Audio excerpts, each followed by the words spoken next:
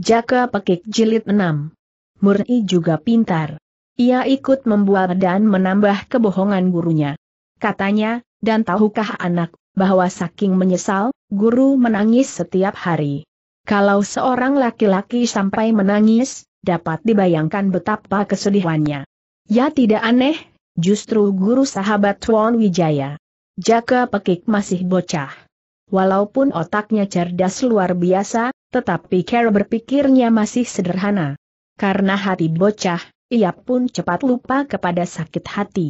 Maka katanya kemudian, ketahuilah bahwa istrimu terserang penyakit yang aneh.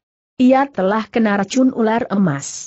Ular emas guru dan murid itu berjingkrak terkejut. Wangsa Dipa telah berumur setengah abad, baru sekali ini ia mendengar nama ular itu. Menyaksikan keheranan Wangsa Dipa, bocah itu segera menerangkan, aku sendiri pun belum pernah melihat bagaimana bentuk ular itu. Jika aku berkata begitu, bukan lain oleh keadaan si sakit sendiri. Tadi aku telah menusuk mukanya dengan jarum emasku. Lalu jarumku ada baunya kayu cendana. Jaka Pekik berhenti dan mengamati si sakit.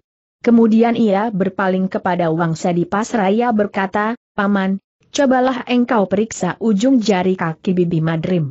Apakah pada ujung jari itu terdapat bekas gigitan yang sangat kecil? Sekarang ini Wang Sadipa sudah percaya kepada kepintaran tabib kecil ini. Karena itu ia cepat menurut dan menghampiri pembaringan istrinya. Lalu ia menyingkapi selimut istrinya, dan cepat pula memeriksa ujung jari kakinya. Orang tua itu jadi terbelalak keheranan ketika menyaksikan kebenaran kata si bocah. Ujung jari kaki istrinya itu terdapat luka kecil sebesar rambut dan warnanya hitam. Apabila tidak diperhatikan, tentu saja luka yang kecil itu tidak tampak. Dengan bukti ini, ia makin percaya akan kepandaian tabib bocah ini. Maka katanya dengan wajahnya yang berseri, engkau benar. Ya engkau tidak salah. Setiap jari kaki istriku terdapat luka sekecil rambut. Ah ternyata engkau seorang tabib yang benar-benar pandai. Dan sekarang, setelah engkau mengetahui sebab-sebabnya, aku percaya bahwa, engkau akan bisa mengobatinya. Ah, jika istriku, bisa engkau sembuhkan, betapa besar terima kasihku. Di samping itu aku pun akan memberi hadiah yang besar kepadamu. Selesai berkata ia mendelik kepada para tabib yang duduk di lantai. Bentaknya, huh, kamu semua tabib-tabib goblok. Bisamu hanya bertengkar mencari benarmu sendiri. Jaka Pekik cepat mencegah, tetapi sakit bibi memang luar biasa aneh. Maka tabib-tabib itu tidak bisa paman salahkan. Dan sekarang karena sudah tidak paman perlukan, sebaiknya paman bebaskan dan biar pulang ke keluarganya. Engkau benar, Wang Sadipa mengiyakan. Setelah anak di sini, tabib-tabib goblok-goblok itu memang sudah tidak ada perlunya lagi. Ia berpaling kepada Murni. Katanya, Murni, berikanlah uang secukupnya kepada mereka. Lalu usirlah pergi dari sini. Selesai berkata ia mendelik kepada para tabib yang duduk di lantai. Betapa lega dan gembira tabib-tabib itu, sulit dilukiskan. Selama di sini, mereka banyak menderita tekanan batin. Mereka seakan-akan tawanan-tawanan yang tak berharga, dirantai dan dikungkung dalam penjara pula. Karena itu setelah mereka dibebaskan, mereka cepat-cepat pergi tanpa minta uang pesangon lagi. Jaka Pekik pun menjadi lega. Ia memang amat merasa kasihan kepada mereka, yang dirantai dan tak bisa bertemu dengan keluarga. Maka setelah tabib-tabib itu pergi, ia segera minta kepada Wang Sadipa, Paman, sudilah engkau memerintahkan kepada beberapa bujang untuk memindahkan ranjang ini. Di bawah ranjang ini terdapat dua buah lubang. Dan lubang itulah liang ular emas itu. Akan tetapi Wang Sadipa tidak sabar. Ia mengerjakannya sendiri menggeser tempat tidur. Dan ketika ranjang itu telah berpindah tempat, Benar juga apa yang sudah dikatakan bocah itu. Di situ terdapat dua buah lubang kecil masuk ke tanah. Wangsa Dipa kegirangan berbareng penasaran. Ia cepat berteriak memerintahkan kepada Murni. Hai, Murni. Cepatlah engkau mengambil belirang dan api. Begitu ular itu keluar, akan kuremuk-remuk dia. Jangan. Cegah Jaka Pekik seraya menggoyangkan tangannya. Ular itu sama sekali tidak boleh diganggu. Paman harus mengerti, bahwa racun dalam badan bibi harus dipunahkan oleh ular itu sendiri. Maka jika ular itu sampai mati, aku tak sanggup lagi menyembuhkan bibi. Wangsa Dipa terbelalak. Tanyanya, mengapa bisa begitu? Apakah ular itu malah tidak membahayakan yang sedang sakit? Paman kata Jaka Pekik. Bocah itu lalu menudingkan jarinya keluar jendela. Lalu terusnya, sebenarnya, penyakit bibi ini gara-gara delapan jambangan bunga purbasari itu. Purbasari ulang wangsa dipa. Ah, ah, baru sekarang aku tahu nama bunga itu. Ya, aku memang hanya menanam, tetapi tak tahu namanya. Dahulu bibit itu pemberian sahabatku, seorang pelaut Bugis. Hem, bunga itu bentuknya amat indah dan amat harum baunya. Hem, tak taunya bunga itu pula yang menimbulkan bahaya. Tanda petik. Paman, dalam kitab ilmu ketabiban, diterangkan bahwa bunga purbasari itu berubi, dan bentuknya bulat telur. Kulit ubi itu warnanya merah darah, dan di dalam ubi itulah terdapat racun yang sangat berbahaya marilah kita coba menggalinya. Begitu mendengar keterangan tabib kecil itu, tanpa diperintah para murid yang sudah berkumpul di luar kamar dan segera pula bekerja untuk menggali pohon bunga itu. Dan mereka terbelalak kagum ketika melihat, warna ubi yang warnanya merah darah seperti apa yang sudah diterangkan oleh Jaka Pekik. Namun karena ubi itu beracun, maka tidak seorang pun murid Wang Sadipa yang berani menyentuhnya menyaksikan kebenaran apa yang sudah dikatakan menurut ilmu ketabiban dari Wesi Aji, segera saja Jaka Pekik meminta agar seluruh pohon bunga itu digalinya. Katanya, sekarang galilah semua pohon bunga itu dan ambillah ubinya. Semua masukkanlah ke dalam lumpang dan tumbuklah. Setelah ubi bunga itu hancur, masukkan delapan biji telur ayam serta secangkir darah ayam aduklah campuran itu agar tercampur benar tetapi sekali lagi aku peringatkan, campuran itu jangan sampai menyentuh kulit. Semua pekerjaan itu dipelopori oleh Murni, yang sengaja mengambil hati gurunya, dengan maksud agar Pradopo bisa mendapatkan pengampunan. Di samping Jaka Pekik memerintahkan tersebut di atas, ia pun minta disediakan dua tabung bambu dan sebatang tongkat bambu pula. Tak lama kemudian pekerjaan itu sudah selesai. Jaka Pekik segera menuang cairan itu berbentuk lingkaran, melingkari lubang di tanah. Setelah apa yang dikerjakan selesai, ia menebarkan pandangannya kepada seluruh yang hadir. Katanya, titik dua nah, sebentar lagi ular emas itu akan keluar dari liangnya. Jika ular itu sudah keluar dari liang, aku harapkan kalian tenang dan tidak bersuara agar ular itu tidak terkejut, dan apabila terkejut bisa marah dan menggigit kalian. Mumpung ular itu belum keluar dari liang, cepatlah kalian menutup hidung dengan kapas. Jaka Pekik menunggu sesudah Wang Sadipa dan murid-muridnya menutup hidungnya dengan kapas. Sesudah semua orang menutup hidung masing-masing dengan kapas, barulah bocah itu melanjutkan pekerjaannya. Ia membakar daun-daun bunga purbasari, amat dekat dengan liang ular itu. Tidak lama kemudian dari liang sebelah kiri muncullah seekor ular yang warnanya merah. Ular itu tidak begitu panjang, karena hanya setengah dipa dan hanya sebesar ibu jari tangan. Semua orang menahan napas, tegang dan tidak berani bergerak. Mereka menantikan, apalagi yang akan dilakukan oleh tabib cilik yang pintar ini. Tidak lama kemudian dari liang sebelah kanan pun muncul seekor ular yang warnanya merah pula.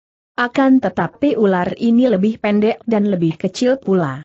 Wangsa Dipa memandang dua ekor ular itu dengan mata, tak berkedip dan hati berdebar-debar. Ia sadar apabila ular itu sampai lari, penyakit istri yang amat dicintainya itu tak akan bisa disembuhkan. Dua ekor ular itu kemudian saling mendekati. Lalu mereka saling mencilat punggung, tampak amat mesra, kemudian mereka bergerak perlahan agak menjauhi liang. Buru-buru Jaka Pekik memasang tabung bambunya membuntu liang. Lalu tongkat bambunya dipergunakan menyentuh ekor ular yang lebih pendek. Agaknya ular itu terkejut. Secepat kilat ular tersebut sudah masuk ke dalam tabung bambu. Yang seekor terkejut pula dan ingin masuk ke dalam tabung itu. Akan tetapi karena tabung itu sempit, maka tak bisa masuk. Tiba-tiba ular itu bersuara nyaring. Tetapi Jaka Pekik tidak memberi kesempatan. Tongkat bambunya disentuhkan pula ke ekornya, dan si ular menyelinap masuk ke dalam tabung yang lain. Begitu ular yang dibutuhkan sudah masuk perangkap, tabib cilik itu cepat-cepat menyumbat tabung.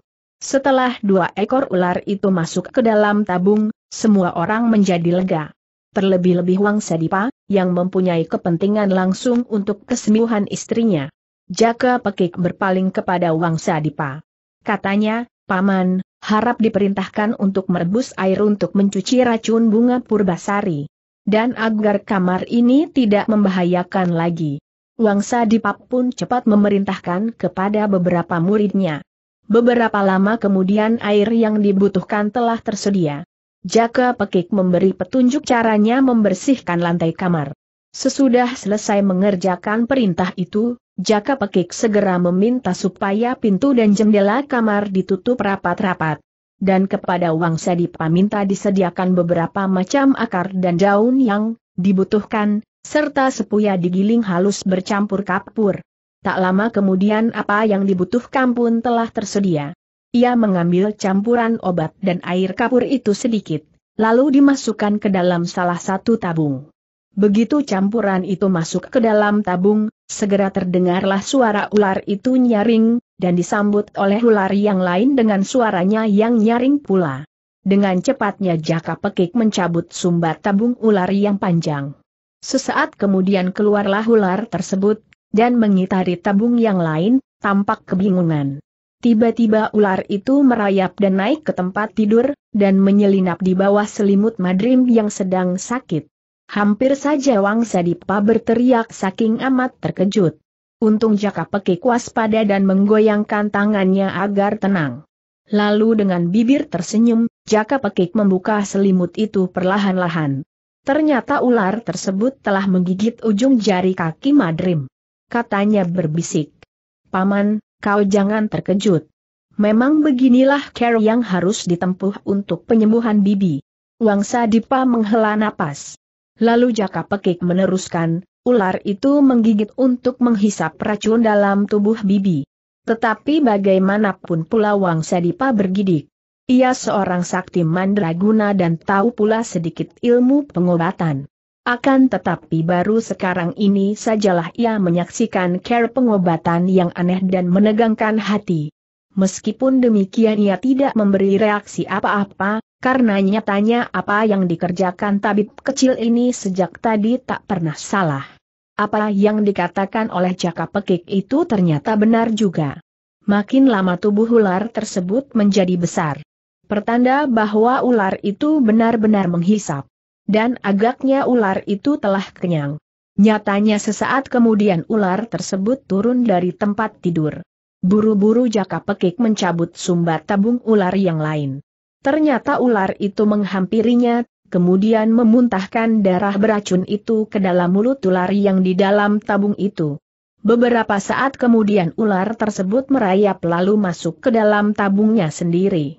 Lalu bocah pintar ini menyumbat lubang tabung. Setiap hari cukup dengan menghisap dua kali, Jaka Pekik menerangkan. Mudah-mudahan dalam waktu sepuluh hari, Bibi bisa sembuh.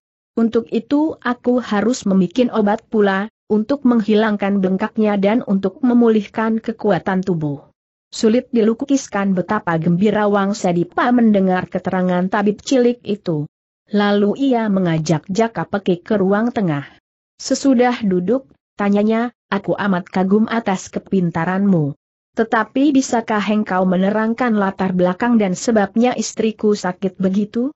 Jaka Pekik tersenyum. Jawabnya kemudian, menurut petunjuk dalam kitab ketabiban yang aku pelajari, ular emas itu berbisa, tetapi bisanya tidak begitu berbahaya. Meskipun demikian ular tersebut mempunyai keistimewaan, ialah suka sekali makan racun.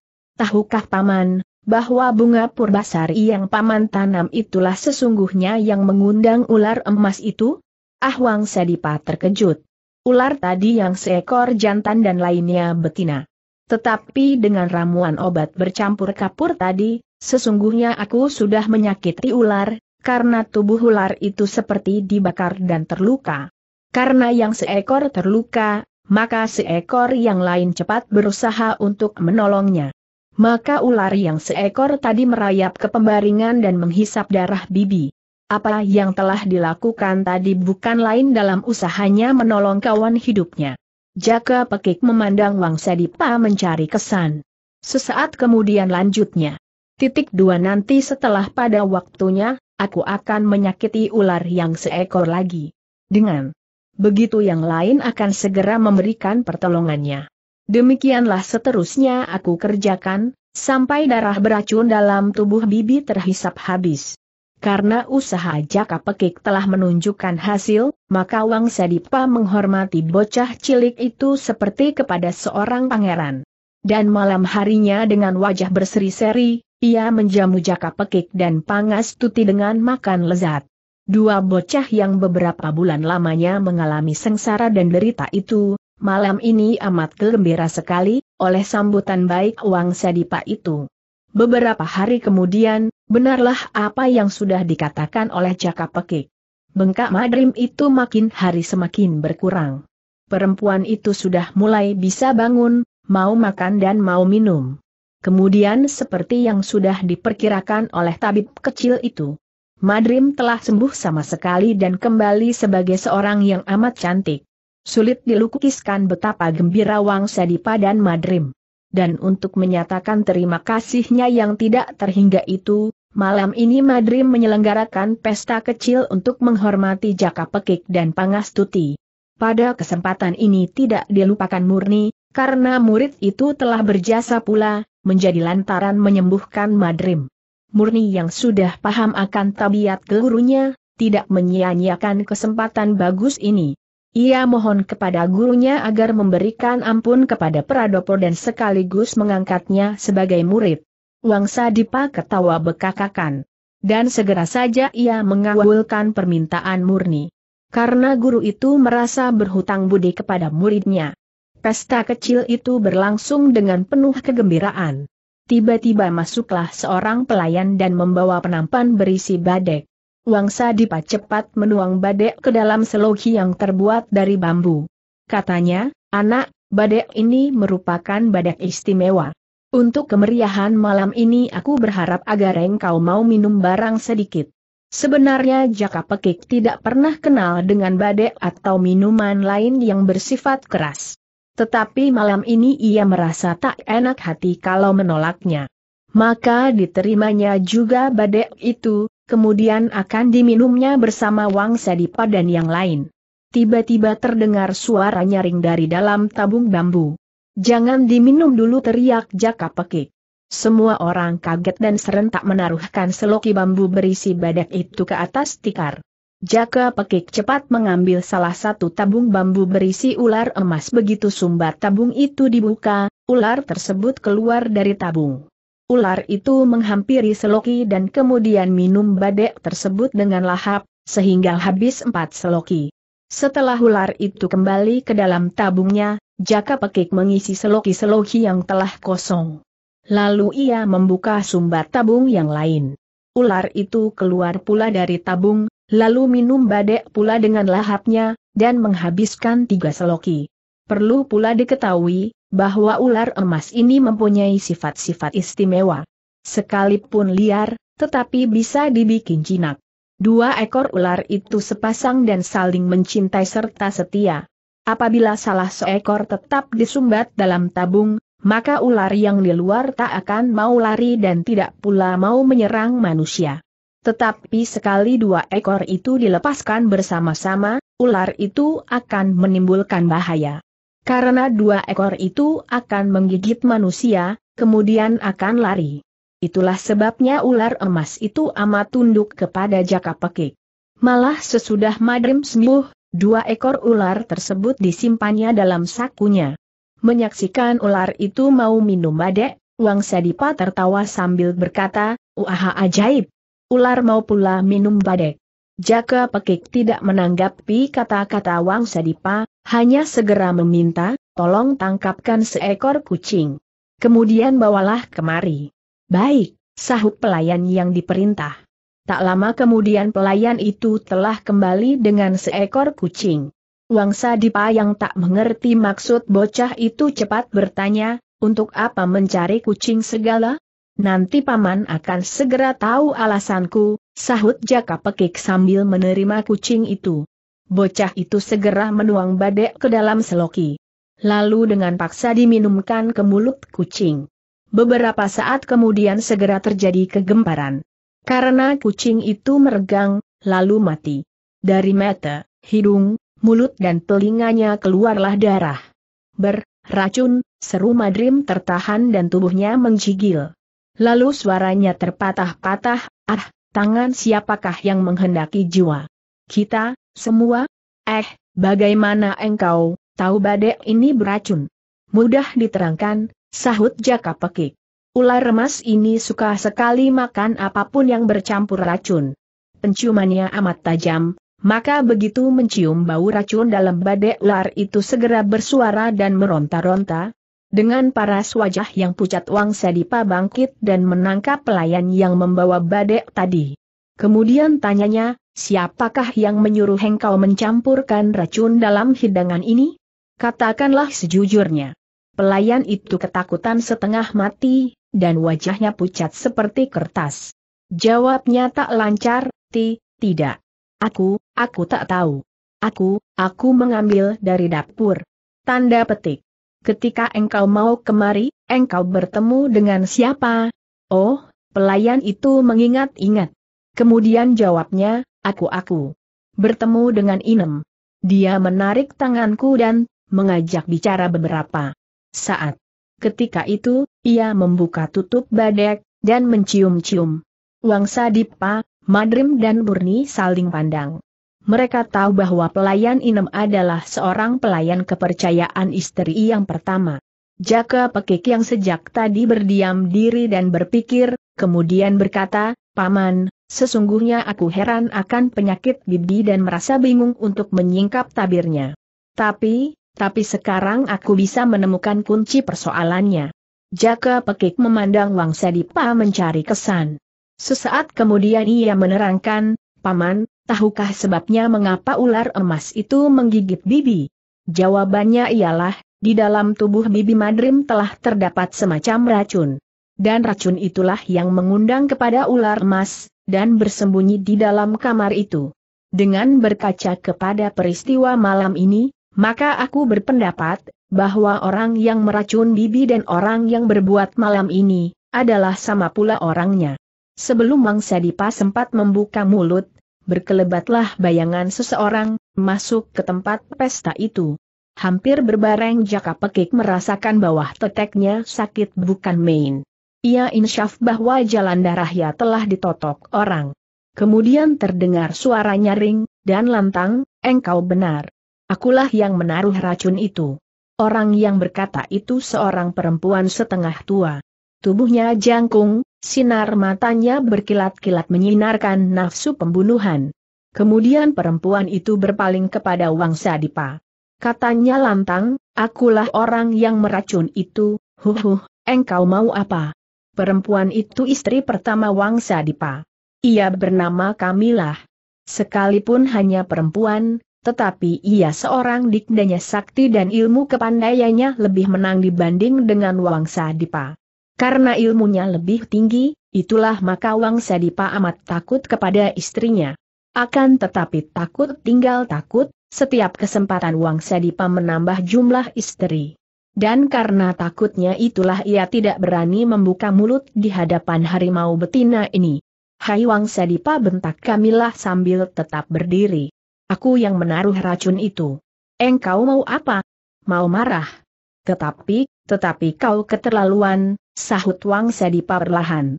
Walaupun engkau benci kepada tabib ini, seharusnya engkau tidak meremlit orang lain.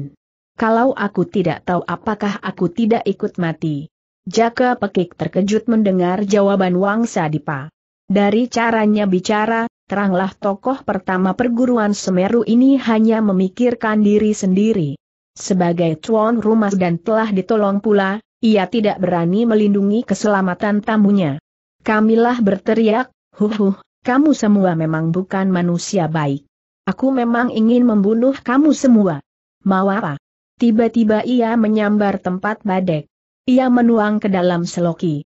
Lalu ditaruhkan di depan Wangsa Dipa. Katanya garang, sesungguhnya aku mau membunuh kamu berlima. Huh. Tetapi setan kecil ini telah membuat semuanya berantakan. Dan sekarang huh, aku bersedia mengampuni yang empat orang. Kamilah berhenti dan mengamati semua yang hadir. Sesaat kemudian katanya tetap garang, huh, huh yang empat orang akan aku ampuni. Tetapi salah seorang harus minum badek ini. Tidak peduli siapa yang akan minum. Cepat. Salah seorang harus minum. Selesai berkata Kamila telah menghunus pedangnya. Perempuan tua itu makin tampak menjadi garang seperti harimau yang tumbuh sayapnya. Umur Kamilah memang lebih tua dibanding Wangsa Dipa. Mereka di waktu muda, saudara seperguruan tetapi karena Kamilah lebih dahulu berguru, maka kepandaiannya pun lebih tinggi dibanding Wangsa Dipa. Maka setelah menjadi suami istri, banyak kali Wangsa Dipa tidak berani berkutik di depan istrinya. Pada mulanya mereka memang saling cinta, tetapi setelah Kamilah makin menjadi tua, dengan alasan belum punya anak, Wangsa Dipa kawin lagi. Pada mulanya satu tetapi tambah bulan tambah istri. Akhirnya sekarang lima orang istri. Wang Sadipa berdiam diri, tetapi otaknya berpikir. Katanya dalam hati, jika aku yang minum, dia tentu tak mengizinkan.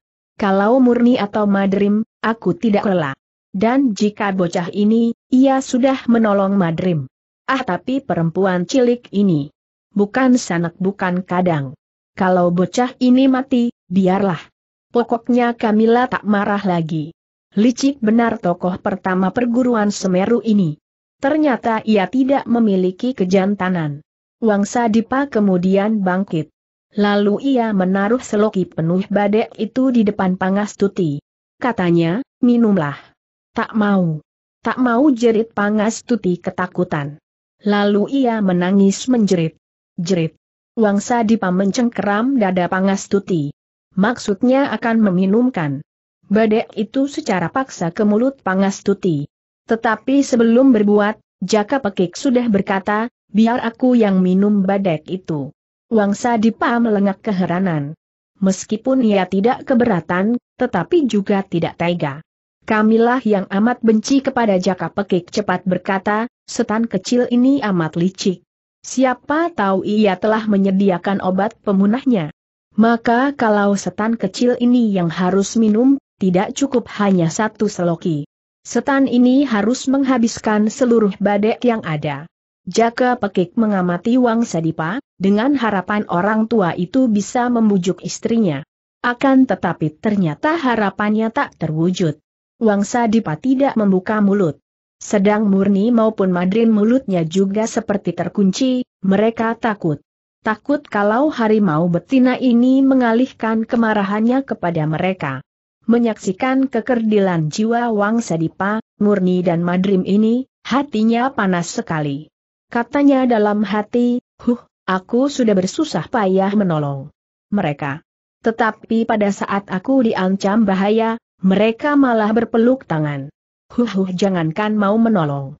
Bicara saja tak berani. Sungguh, ia amat penasaran. Mengapa Pangastuti yang tidak bersalah akan dikorbankan? Karena itu setelah menghela napas dalam, katanya mantap ditujukan kepada Murni, Bibi Murni. Sesudah aku mati minum badek beracun ini, aku memohon pertolonganmu. Hendaknya engkau sudi mengantarkan adik Pangastuti ke Gunung Arjuna. Maukah? Murni melirik kepada Kamilah. Kemudian menganggukkan kepalanya dan menyahut, Baik.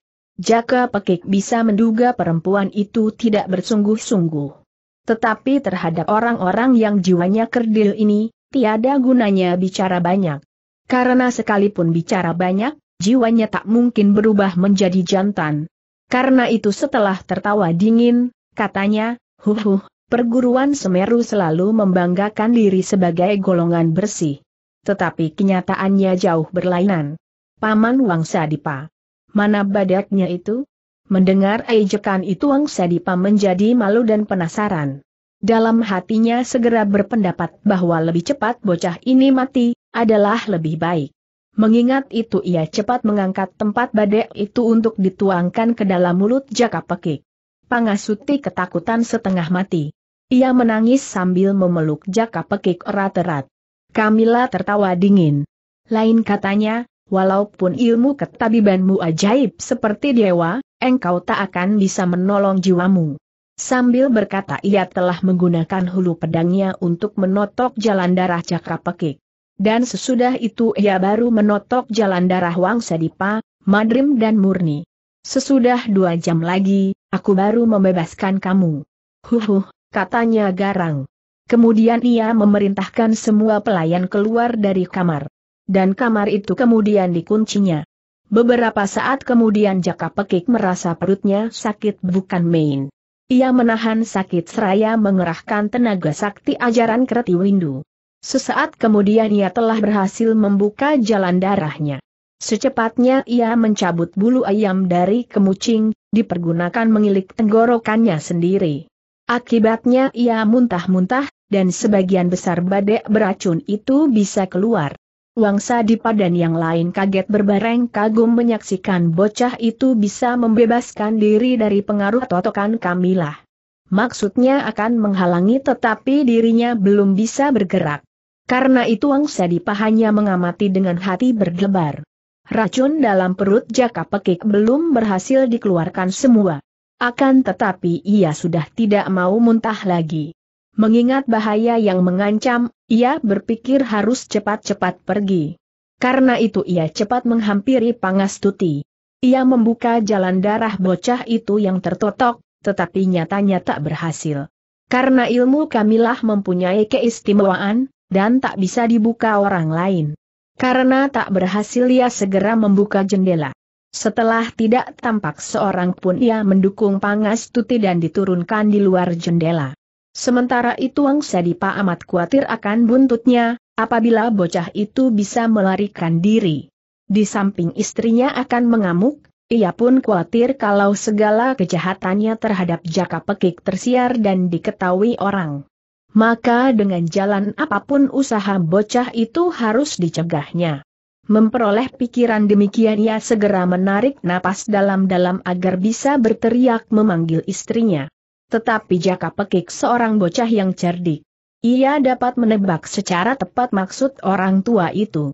Ia cepat mengambil sebutir obat dari dalam sakunya. Kemudian dia masukkan dalam mulut Madrim Seraya berkata, Pil ini racun pencabut nyawa. Dalam waktu 12 jam orang yang makan akan mati karena ususnya putus. Tetapi aku kasihan kepada istrimu. Aku akan menaruhkan obat pemunahnya di salah satu pohon di bawah gunung sana.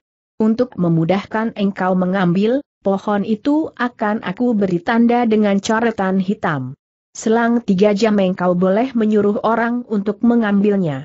Tetapi awas, jika aku sampai ditangkap istrimu, aku tidak mati seorang diri. Wangsa Dipa amat terkejut dan khawatir sekali. Tetapi ia tahu bahwa tidak mudah orang bisa keluar dari daerahnya.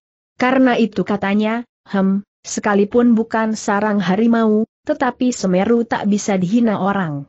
Orang seperti engkau tak mungkin bisa keluar sendiri dengan selamat. Jaka Pekik menyadari, bahwa apa yang dikatakan Wang Sadipa benar. Ia insyaf bahwa sekitar tempat ini banyak dipasang alat-alat rahasia yang amat berbahaya untuk menanggulangi gangguan musuh. Sekalipun demikian ia tampak acuh tak acuh. Katanya dingin, akan tetapi sebaliknya, tanpa obat pemunah dari tanganku sendiri, racun pencabut nyawa itu tak mungkin bisa engkau lawan. Wangsa Dipa mengerutkan alisnya. Mengingat kepintaran bocah itu dalam ilmu ketabiban, apa yang sudah dikatakannya itu tentu benar. Oleh sebab itu, ia khawatir kalau istri muda yang amat dicintai ini sampai mati. Maka katanya, baiklah. Sekarang bukalah jalan darahku. Aku akan mengantarkan engkau keluar dari sini. Jaka Pekik tidak membantah. Ia segera memijit-mijit membantu Wang Sadipa membuka jalan darahnya. Akan tetapi ternyata sudah beberapa lama ia belum juga berhasil. Sehingga bocah ini menjadi terkejut sendiri. Pantaslah ia tadi gagal membuka jalan darah Pangastuti. Namun sekalipun usahanya gagal, kepandaiannya itu sudah amat mengejutkan. Wangsa Depa. Sungguh tidak pernah terpikir olehnya bahwa pemuda tanggung berumur 14 tahun ini mempunyai kepandaian yang demikian tinggi bukan saja dalam bidang ketabiban tetapi juga dalam ilmu kesaktian. Buktinya ia bisa membuka jalan darahnya sendiri tanpa pertolongan lain orang. Sebaliknya ia sendiri yang sudah dibantu oleh bocah itu masih juga gagal. Karena usahanya membuka jalan darah yang tertotok gagal, Wang Sadipa menghela napas panjang. Maka katanya, bawalah kemari tempat air teh itu. Lalu tuangkanlah dalam mulutku. Jaka Pekik agak curiga. Tetapi dilakukan juga, karena ia tahu bahwa orang tua ini amat sayang kepada istrinya yang kelima. Lalu dituangkanlah air teh itu ke dalam mulut Wang Sadipa. Ternyata Wang Sadipa tidak menelan air teh itu. Lalu sambil mengerahkan tenaga sakti dari dalam tubuhnya, ia menyemburkan air teh itu ke jalan darah pada persendian sikunya. Semburan itu kuat sekali bagai sodokan tongkat. Maka dalam waktu sesaat lengan orang tua itu sudah bisa digerakkan. Kagum juga Jaka Pekik menyaksikan kepandaian Wang Sadipa. Padahal semula bocah ini amat merendahkan orang tua itu, karena amat takut kepada istrinya yang pertama. Dan setelah lengan kanannya itu terbebas, ia segera membuka jalan darah di betisnya. Katanya kemudian, Sesudah engkau menyerahkan obat pemunah yang aku butuhkan, aku akan mengantar engkau keluar dari tempatku ini. Jaka Pekik tidak menyahut, dan hanya menggelengkan kepalanya. Wang Sadipa menjadi bingung. Lalu bujuknya, aku orang pertama dari perguruan Semeru ini. Oleh sebab itu tidaklah mungkin aku menipu seorang anak kecil seperti engkau. Padahal kalau sampai terlambat, racun itu bisa mengamuk. Apakah tidak rugi kalau Madrim sampai tidak tertolong? Tetapi racun itu bekerja lambat. Maka paman tidak perlu khawatir. Jika begitu, baiklah. Mari aku antarkan, Wang Sadipa mengalah. Karena ia sadar juga, sekalipun bocah itu tak akan mau memberikan. Setelah keluar dari kamar lewat jendela, Wang Sadipa segera menyentuh punggung Pangas Tuti dengan jarinya.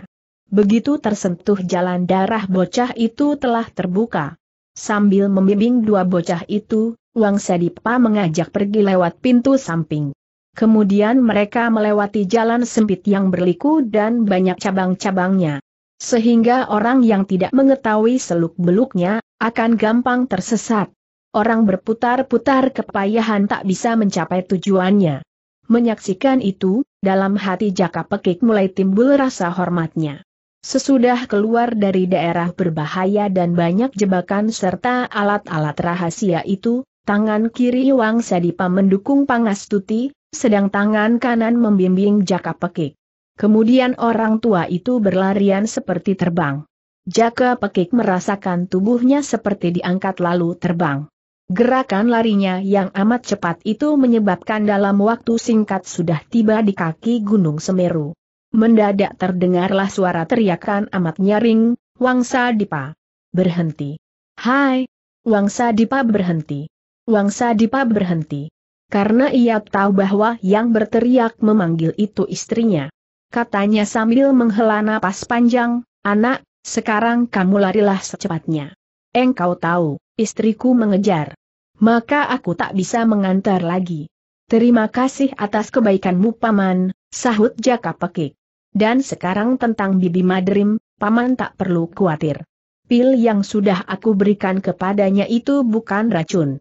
Tetapi hanya obat batuk saja, dan tidak ada bahayanya. Karena itu, paman, maafkanlah apa yang sudah aku lakukan, sehingga membuat paman amat khawatir. Wangsa Dipa kaget berbareng marah.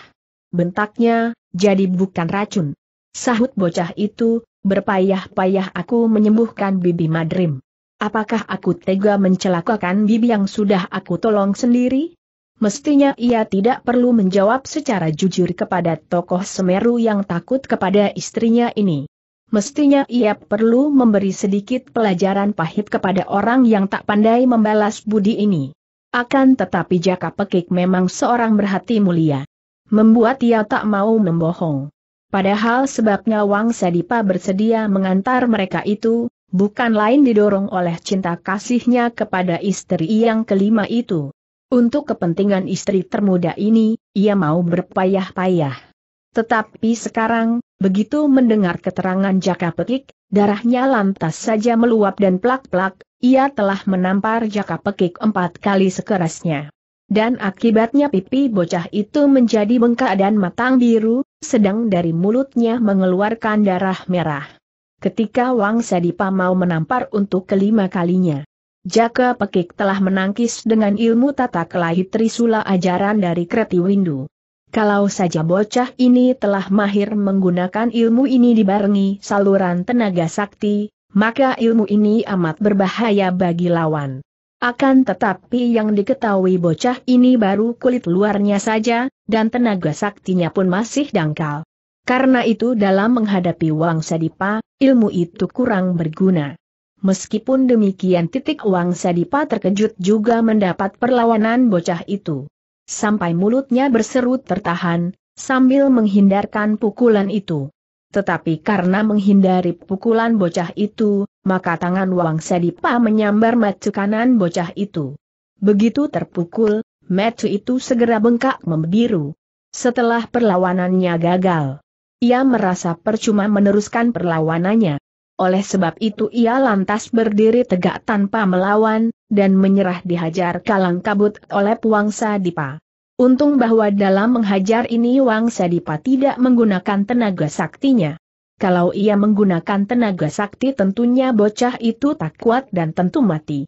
Akan tetapi bagaimanapun pula, setiap dipukul bocah itu matanya berkunang-kunang dan kepalanya pusing.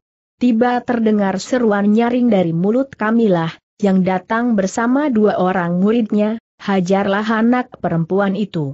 Wang Sadipa memutar tubuh, kemudian menampar Pangastuti. Begitu ditampar Pangastuti menjerit nyaring dan menangis keras-keras. Bangsat tua tak tahu malu teriak Jaka Pekik penuh kemarahan. Apakah engkau belum merasa cukup menghajar aku? Mengapa sekarang engkau menghina anak kecil? Akan tetapi Wang Sadipa memang tidak mengenal malu. Ia tidak menggubris Jaka Pekik dan tangannya melayang lagi. Menyaksikan kekejaman tokoh Semeru itu, Jaka Pekik menjadi kalap. Ia melompat dan seperti kerbau edan ia telah menyeruduk perut Wang Sadipa. Menyaksikan itu Kamila tertawa dingin. Kemudian katanya, lihatlah ai bangsat tua. Meskipun masih kecil, anak itu sudah mempunyai rasa cinta dan pribudi. Bukan seperti manusia macam engkau yang sedikit pun tidak kenal apa arti setia. Marah wajah Wang Sadipa dieje oleh istrinya. Dalam kegusarannya, segala kemarahan dilimpahkan ke atas kepala Jaka Pekik. Setelah ia puas menghajar bocah itu, ia menjamret baju Jaka Pekik, lalu dilontarkan sambil membentak, binatang kecil. Lebih baik engkau menyusul ayah dan ibumu saja. Kali ini Wang Sadipa menggunakan tenaga saktinya. Karena itu lemparannya cukup bertenaga, sehingga bocah itu hanya semacam bola. Jaka Pekik terlempar dengan kepalanya lebih dulu. Lemparan itu mengarah ke sebuah batu yang amat besar. Apabila bocah ini terbentur, niscaya akan mati seketika dan kepalanya pecah. Untung bahwa pada detik yang amat berbahaya itu semacam tenaga sudah mendorong bocah itu sehingga arahnya berubah, dan jatuh di dekat batu. Ketika ia mengangkat kepalanya, tiba-tiba dilihatnya seorang laki-laki setengah tua telah berdiri tidak jauh dari tempatnya. Laki-laki itu mengenakan baju putih dan celana putih pula. Ikat kepalanya berwarna gelap, sedang kain panjangnya bercorak kawung. Wangsa Dipa dan Kamilah amat terkejut. Mereka merasa heran, karena tiada mendengar suara kedatangan orang itu. Akan tetapi sebaliknya kalau orang itu datang lebih dahulu, kiranya mereka juga tentu bisa mengetahui. Di samping Mang Sadipa merasa heran menyaksikan kehadiran orang itu di luar pengamatannya, ia pun merasa heran, mengapa lemparannya tadi, sudah bisa dilawan hanya dengan kibasan tangan? Sehingga bocah itu tidak remuk terbentur batu. Mengingat semua itu, suami istri yang tak tahu malu ini, bisa mengukur sampai di manakah ketinggian ilmu dan kesaktian orang itu. Sesudah batuk-batuk beberapa kali untuk menghilangkan rasa malunya, Wang Sadipa menyapa, Chuan siapa? Dan mengapa pula Chuan sudah mencampuri urusan perguruan Semeru? Orang itu membungkuk memberi hormat. Lalu jawabnya sabar, oh jika. Chuan ini tokoh pertama perguruan Semeru. Jadi aku berhadapan dengan Chuan Wang Sadipa beserta istri? Oh aku bernama Yoga Suara. Wang Sadipa, Kamilah dan Jaka Pekik berseru kaget. Akan tetapi seruan kaget Jaka Pekik berbeda nadanya dengan suami istri itu. Karena nada suara bocah ini menunjukkan perasaan gembira, sedang seruan suami istri itu bernada gusar. SRT, SRT, dua orang murid perguruan Semeru itu telah menghunus pedang. Lalu pedang itu diangsurkan kepada Wang Sadipa dan istrinya. Wang Sadipa cepat melintangkan pedangnya di depan dada bersiap sedia dengan tipu menutup gunung, sedang Kamilah menudingkan pedangnya ke tanah dalam gerakan menyapu daun. Kedua jurus itu merupakan jurus rahasia dari ilmu pedang Semeru. Tampaknya sederhana, tetapi bahayanya tidak terkirakan. Karena begitu bergerak, pedang itu akan segera menyambar delapan bagian tubuh yang berbahaya. Akan tetapi Yoga Suara hanya tenang-tenang saja. Ia malah mengamati Jaka Pekik dengan perasaannya yang heran. Soalnya ia bisa menangkap seruan bocah itu yang bernada kegirangan dan ia ingin tahu apakah artinya semua itu. Ketika itu muka Jaka Pekik matang biru dan berlepotan darah. Namun sinar matanya jelas, menyinarkan rasa syukur dan bahagia. Lalu katanya agak gugup, kau, kaulah paman Yoga Suara tokoh gagak rimang yang berdiam di gunung. Arjuna? Yoga Suara terkejut. Ia menangguhkan kepalanya seraya bertanya, eh, bagaimana engkau mengenal aku? Mengapa? Sambil menunjuk Pangastuti, bocah itu berkata, adik itu putri paman, lalu ia menghampiri Pangastuti, dan dituntunya mendekati Yoga Suara. Katanya lagi, Astuti, inilah ayahmu. Ah! Tuhan telah mempertemukan engkau dengan ayahmu. Pangastuti yang belum hilang kagetnya dihajar oleh Wang Sadipa tak bisa membuka mulut. Ia masih terisak-isak menangis sambil menyekair matanya. Paras wajah Yoga suara sebentar merah sebentar pucat. Lalu sambil memegang pundak Jaka Pekik, katanya, anak, bicaralah yang jelas. Putri siapakah bocah ini? Siapakah ibunya? Aduh Pekik Jaka Pekik tertahan. Karena ia merasakan pundaknya amat sakit. Namun dia menahan sakit. Jawabnya, dia putrimu. Ibunya Bibi Endang Merata Jaya murid Tuban. Wajah Yoga suara lebih pucat lagi. Katanya gagap, dia, dia mendapat anak. Di mana di mana dia sekarang? Seraya berkata itu, tangannya telah memeluk dan mengangkat tubuh Pangastuti. Dua belah pipi bocah itu bengkak oleh hajaran Wangsa Dipa. Meskipun demikian wajah bocah itu masih menunjukkan kecantikannya, dan amat mirip dengan wajah ibunya. Dan tiba-tiba ia melihat lencana tembaga yang tergantung pada leher Pangastuti. Lencana bergambar raksasa. Menyaksikan itu ia segera ingat, bahwa dahulu pernah memberikan benda itu kepada Endang Bratajaya. Karena itu sambil memeluk Pangastuti erat-erat, tanyanya, mana, mana ibumu? Pangastuti yang masih kecil itu, tidak bisa menjawab. Pipinjam masih terasa panas oleh hajaran Wangsa Dipa. Jaka Pekik cepat menolong. Katanya, Paman, jika aku beritahukan, engkau jangan berduka. Bibi, Bibi telah dipukul mati oleh gurunya, dan sesaat mau meninggal. Dusta! Dusta teriak yoga suara seraya memijit pundak bocah itu lebih keras. Akibat pijitan itu tulang pundak Jaka Pekik patah, dan dua orang itu terguling berbareng di atas tanah. Yoga suara menjadi pingsan karena terkejut. Sedang Jaka Pekik roboh karena tulang pundaknya patah. Ia merasakan sakit bukan main. Wang Sadipa dan istrinya saling memberi isyarat. Tiba-tiba Wang Sadipa menempelkan ujung pedang itu ke dahi, sedang Kamila telah menempelkan ujung pedangnya ke tenggorokan Yoga Suara. Sebagai salah seorang tokoh gagak rimang, maka Yoga Suara merupakan musuh Semeru. Karena Guru Wang Sadipa dan Kamila ketika masih hidup, telah kalah berkelahi melawan salah seorang tokoh gagak rimang. Mereka tidak tahu secara jelas siapakah dahulu yang sudah mengalahkan guru mereka. Tetapi yang jelas mereka amat benci kepada gerombolan gagak rimang. Dalam pada itu suami istri ini pun insyaf, bahwa orang yang bernama Yoga Suara ini seorang dikdanya sakti. Sehingga apabila bertempur dan mengeroyok dua, belum tentu bisa menang. Maka dengan menggunakan saat orang ini pingsan, mereka tak mau menyia-nyiakan kesempatan yang baik itu. Lalu terdengar perintah Kamilah, putuskanlah lengannya baik sahut Wang Sadipa. Saat itu yoga suara yang terpukul batinnya oleh meninggalnya Endang Bratajaya dalam keadaan menyedihkan belum juga sadar. Akan tetapi Jaka Pekik tidak pingsan. Jaka Pekik menderita amat sakit oleh perbuatan yoga suara. Namun bocah ini tidak menjadi sakit hati atas sikap orang itu, dan bisa memaafkan. Maka begitu menyaksikan bahaya yang mengancam yoga suara, ia bertindak cepat. Dengan menggunakan ujung jari kakinya, ia menyentuh jalan darah pada ubun-ubun yoga suara. Dan begitu tersentuh jalan darah pada ubun-ubunnya yang mempunyai hubungan langsung dengan otak, yoga suara tersadar. Dan setelah sadar, ia merasakan hawa dingin menyentuh dahinya.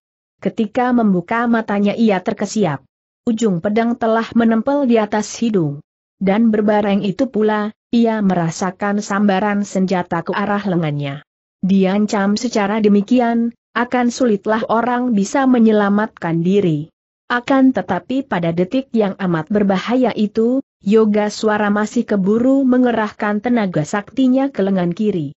Maka waktu Wang Sadipa membacok lengan itu, ia merasakan seperti membacok benda yang alot serta licin dan membuat bacokannya jadi melesat. Tetapi walaupun Yoga Suara telah mengerahkan tenaga saktinya, lengannya terluka juga, sehingga bajunya merah oleh darah. Hampir berbareng dengan gagalnya Wang Sadipa membabat putus lengan Yoga Suara itu. Mendadak tubuh Yoga Suara meluncur, seperti tubuhnya ditarik oleh kekuatan yang ajaib. Tetapi walaupun tubuh Yoga Suara itu meluncur, secepat kilat, ia tak bisa menghindarkan goresan ujung pedang Kamilah. Dahi, hidung, dada dan perutnya luka memanjang tergores oleh pedang. Sehingga baju Yoga Suara menjadi basah oleh darah. Begitu Yoga Suara dapat menyelamatkan diri dari ancaman maut, tubuh Yoga Suara telah berdiri tanpa menekuk lutut. Seakan-akan sesosok mayat habis diangkat dari peti mati. Dan hebatnya, begitu berdiri tegak, kedua kakinya bergerak berbareng sangat cepat. Kerak pedang Wang Sadipa dan istrinya telah patah diinjaknya. Peristiwa itu terjadi dalam waktu yang amat singkat. Sehingga hampir tak bisa diikuti oleh pandangan mata. Sesungguhnya Wang Sadipa dan istrinya merupakan manusia-manusia berilmu tinggi. Dan sebenarnya pedang suami istri itu tak akan bisa dipatahkan lawan dengan gampang. Akan tetapi pada saat ini, suami istri itu dalam keadaan lengah.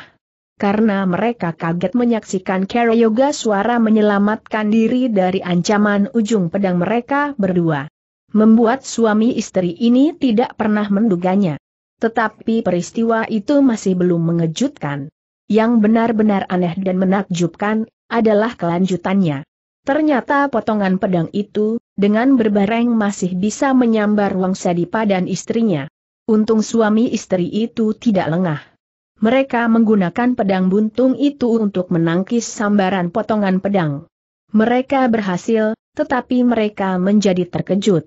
Karena telapak tangan mereka panas seperti dilanggar api, dan separuh badannya seperti lumpuh mendadak. Dalam kagetnya mereka melompat berpencaran. Wangsa Dipa menudingkan pedangnya ke langit, sedang Kamilah menudingkan pedangnya ke bumi. Walaupun pedang mereka telah buntung, tetapi sikap mereka masih tetap garang. Menyaksikan sikap suami istri itu, Yoga suara tertawa dingin. Ia tak takut menghadapi suami istri itu. Tetapi untuk mengalahkannya juga tidak mudah. Karena saat sekarang ini, dirinya telah terluka dan darah membasahi bajunya.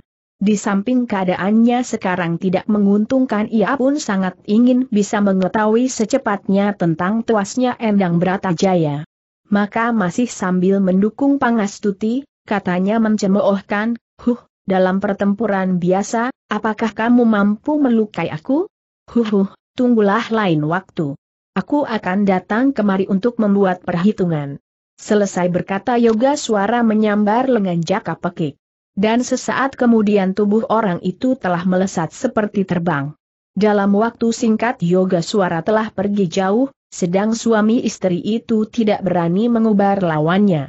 Sesudah berlarian cukup jauh, yoga suara menghentikan tindakannya. Ia mengamati jaka pekik tajam-tajam, kemudian tanyanya, anak, cobalah engkau terangkan secara jujur. Apakah yang sudah terjadi dan menimpa Endang Bratajaya? Ketika itu Jaka Pekik merasakan perutnya amat sakit. Sebagai seorang yang telah memahami ilmu ketabiban, ia menyadari bahwa sakit perutnya ini sebagai akibat badai beracun yang telah diminumnya. Untuk melawan pengaruh racun itu, ia cepat menggigit jarinya sendiri sehingga berdarah. Kemudian ia mengeluarkan seekor ular emas dari tabung yang disimpan dalam sakunya dan ular emas itu kemudian menggigit jarinya, menghisap darahnya yang beracun. Sambil duduk pada sebuah batu, Jaka Pekik mulai menuturkan malapetaka yang telah menimpa Endang Bratajaya secara gamblang. Ia justru pandai bercerita. Maka ia dapat menuturkan secara urut dan tidak sedikit pun yang tercicir. Ketika ia menyelesaikan penuturannya, ular emas itu telah berhasil menghisap sisa racun dalam tubuhnya. Maka ular itu segera disimpannya kembali dalam tabungnya. Yoga suara mendengarkan penuturan bocah itu penuh perhatian. Tetapi hati laki-laki ini amat terharu. Sehingga dalam mendengarkan, air matanya bercucuran membasahi pipinya. Setelah ia menghela napas panjang, katanya perlahan, hem, perempuan Anjani itu telah berusaha untuk mencelakakan aku. Dan untuk jasanya, Anjani telah menjanjikan kedudukan yang tertinggi dalam perguruan Tuban. Ah! Sayang, sayang, engkau menolaknya Bratajaya. Dan engkau memilih mati daripada patuh akan perintah gurumu. Ah padahal engkau bisa menggunakan akal. Engkau bisa berpura-pura sedia melaksanakan perintah gurumu dan dengan akal engkau akan bisa bertemu kembali dengan aku, dan kita bisa hidup berdampingan bahagia. Hem, sayang. Tetapi Dibi seorang wanita berhati mulia, selajak apekik. Dia tidak sanggup berdusta kepada gurunya, tetapi sebaliknya tak juga bersedia mencelakan engkau. Yoga suara menghela napas panjang. Sedang Jaka Pekik meneruskan, tetapi perlu juga engkau ketahui paman, bahwa pada saat Bibi akan menghembuskan napasnya yang terakhir, aku telah berjanji. Ya aku telah berjanji untuk mengantarkan adik Pangastuti kepada Paman. Pangastuti ulang yoga suara dengan nada suaranya yang menggeletar. Pangastuti yang masih dalam dukungan ayahnya telah menyahut, benar ayah. Ibu telah memberi nama Pangastuti. Tiba-tiba yoga suara tertawa nyaring. Setelah ia puas tertawa, katanya lirih seperti kepada dirinya sendiri, Endang, oh, engkau wanita berhati mulia. Oh, aku menjadi malu kepada diriku sendiri. Engkau menamakan anakmu Pangastuti. Nama itu mempunyai makna sabar, setia dan juga keselamatan. Ah, Endang, nyatalah sekarang, walaupun aku telah menodai kehormatanmu. Engkau tidak menyesal engkau setia dan membuat aku amat menyesal. Mengapa engkau berusia pendek? Kalau Yoga Suara sedang sibuk dengan keadaannya sendiri yang teringat kepada Endang Bratajaya. Maka Jaka Pekik pun sekarang sibuk dengan keadaannya sendiri pula. Tulang pundaknya yang patah dirasakan makin menjadi sakit. Maka untuk mengobati luka itu ia mencari daun-daun obat, dan itu ia menggunakan ranting pohon untuk menjepit tulang pundaknya. Setelah semuanya beres, maka sakitnya banyak berkurang. Setelah beres mengobati lukanya sendiri, katanya, Paman, aku amat gembira telah menyelesaikan tugasku mempertemukan engkau dengan adik Pangastuti. Karena itu Paman, sekarang aku minta diri. Tidak sahut yoga suara cepat berbareng terkejut. Jasamu amat besar dalam usahamu melindungi keselamatan anakku. Untuk itu aku tak akan bisa melepaskan engkau, sebelum aku memberi balas jasa kepadamu. Anak, sekarang katakanlah. Apakah yang engkau inginkan dan kehendaki? Jangan khawatir. Aku akan sanggup mewujudkan keinginanmu. Jaka Pekik tertawa bekakakan. Lalu jawabnya, Paman, apa yang telah aku lakukan, untuk memenuhi pesan terakhir Bibi. Untuk itu aku tak mengharapkan balas jasa. Sehabis berkata, Jaka Pekik memutar tubuhnya melangkah pergi.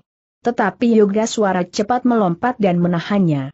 Katanya memujuk, anak, engkau jangan salah paham. Apa yang sudah kunyatakan tadi keluar dari hatiku yang murni. Jika engkau tak menghendaki sesuatu, baiklah. Sekarang ikutlah aku. Dalam waktu satu tahun, aku akan menurunkan ilmu-ilmu kesaktian kepadamu. Percayalah. Engkau akan menjelma menjadi manusia sakti jarang tandingan. Sesungguhnya ia takjub juga menyaksikan kesaktian yoga suara. Dan jika ia sedia mengabulkan, niscaya akan cepat menjelma sebagai manusia sakti. Akan tetapi ia tidak pernah melupakan pesan kakek gurunya, Wisnu Murti. Bahwa dirinya dilarang mempunyai hubungan dengan orang-orang gagak rimang. Maka apabila ia menerima tawaran yoga suara, berarti ia telah menjadi murid orang itu dan berarti pula ia telah mengkhianati kakek gurunya sendiri. Di samping ia selalu ingat akan pesan kakek gurunya, ia pun merasa bahwa racun dingin dalam tubuhnya belum bersih. Sehingga paling lama ia hanya bisa hidup setengah tahun lagi. Mengingat itu, apakah gunanya segala ilmu kesaktian? Paman, kata Jaka Pekik, terima kasih atas perhatianmu kepadaku. Tetapi Paman harap engkau mengetahui, bahwa aku seorang murid perguruan kemuning. Aku tak bisa belajar kepada orang lain tanpa seizin kakek guruku. Karena itu paman, maafkanlah aku. Oh yoga suara kaget. Engkau murid kemuning? Lalu, Jaka. Jaka. Lambang? Sahut Jaka petik, dia pamanku. Dia memperlakukan aku, seperti kepada anaknya sendiri. Karena itu paman, Sesungguhnya aku amat malu kepada pamanku itu, untuk mengantarkan adik Pangas Tuti kepadamu. Mendengar itu yoga suara berubah wajahnya dan tampak malu. Tiba-tiba ia melompat seraya berkata, baiklah. Sampai bertemu lagi. Kakang Pekik. Kakang Pekik teriak Pangas Tuti. Tetapi gerakan yoga suara amat cepat seperti kilat. Dalam waktu singkat orang sakti itu telah hilang, dan suara teriakan pangas tuti tak terdengar lagi. Untuk beberapa saat lamanya Jaka Pekik berdiri terpaku. Dalam hatinya timbul rasa ternyuh sekali, berpisah dengan pangas tuti. Dalam beberapa bulan ini mereka telah melakukan perjalanan penuh bahaya yang mengancam. Pengalaman-pengalaman yang pahit selama dalam perjalanan itu, kemudian kuasa menjalin kasih sayang yang amat dalam. Sesudah ia kuasa menekan perasaannya, ia melangkah perlahan menuju ke utara. Ia melangkah tanpa tujuan, dan hanya menurutkan langkah kaki. Singkatnya, pada suatu hari ia telah menginjakan kakinya di kaki Gunung Bromo. Ia mengasuh dan duduk di atas batu. Karena di samping merasa payah, pundaknya pun belum mau sembuh. Sebetulnya pundak itu tidak cepat mau sembuh, karena ia belum mendapatkan daun obat yang cocok. Entah mengapa sebabnya, tempat-tempat yang dilalui tidak banyak tumbuh daun dan akar-akar yang bisa dijadikan obat. Pada saat ia sedang enak mengaso, tiba-tiba terdengarlah salak anjing. Ia terkejut. Karena suara salak anjing itu beberapa ekor, dan makin lama semakin menjadi dekat. Ia memasang telinganya dan mengamati dari kejauhan. Tiba-tiba ia terkejut. Ia melihat seekor kera kecil yang menderita. Karena kera itu berloncatan kepayahan, sedang pada pantatnya tampak sebatang panah pendek yang menancap. Ketika jaraknya tidak jauh lagi, tenaga kera itu telah habis. Kera itu terpeleset jatuh, dan tidak bisa bangun lagi. Jaka Pekik melompat dan menghampiri. Lalu hatinya tergerak, dan tak tega menyaksikan kera itu menderita. Maka tanpa pikir panjang lagi ia mengangkat kera tersebut dan mencabut anak panahnya. Untuk mengobati luka itu, ia mengambil obat kering dari sakunya. Ketika itu suara salak anjing semakin dekat. Ia cepat menaruhkan kera tersebut ke atas dahan pohon. Kemudian ia sendiri berdiri di bawahnya, dengan maksud untuk melindungi. Beberapa saat kemudian belasan ekor anjing telah berdatangan. Begitu tiba anjing-anjing itu terus menyalak dan mengurung jaka pekik. Dari sikap anjing-anjing itu, ia mengerti bahwa kawanan anjing ini buas. Membuat hatinya agak keder dan khawatir. Namun demikian ia tak tega kepada kera kecil yang terluka dan ketakutan itu. Dan apa pun yang terjadi, ia harus melindungi. Maka ketika seekor anjing telah menubruk maju, ia mengadakan perlawanan. Dengan kakinya ia menendang. Tendangannya tepat sekali. Tubuh anjing itu terpental lebih setombak, kemudian berguling-guling kesakitan.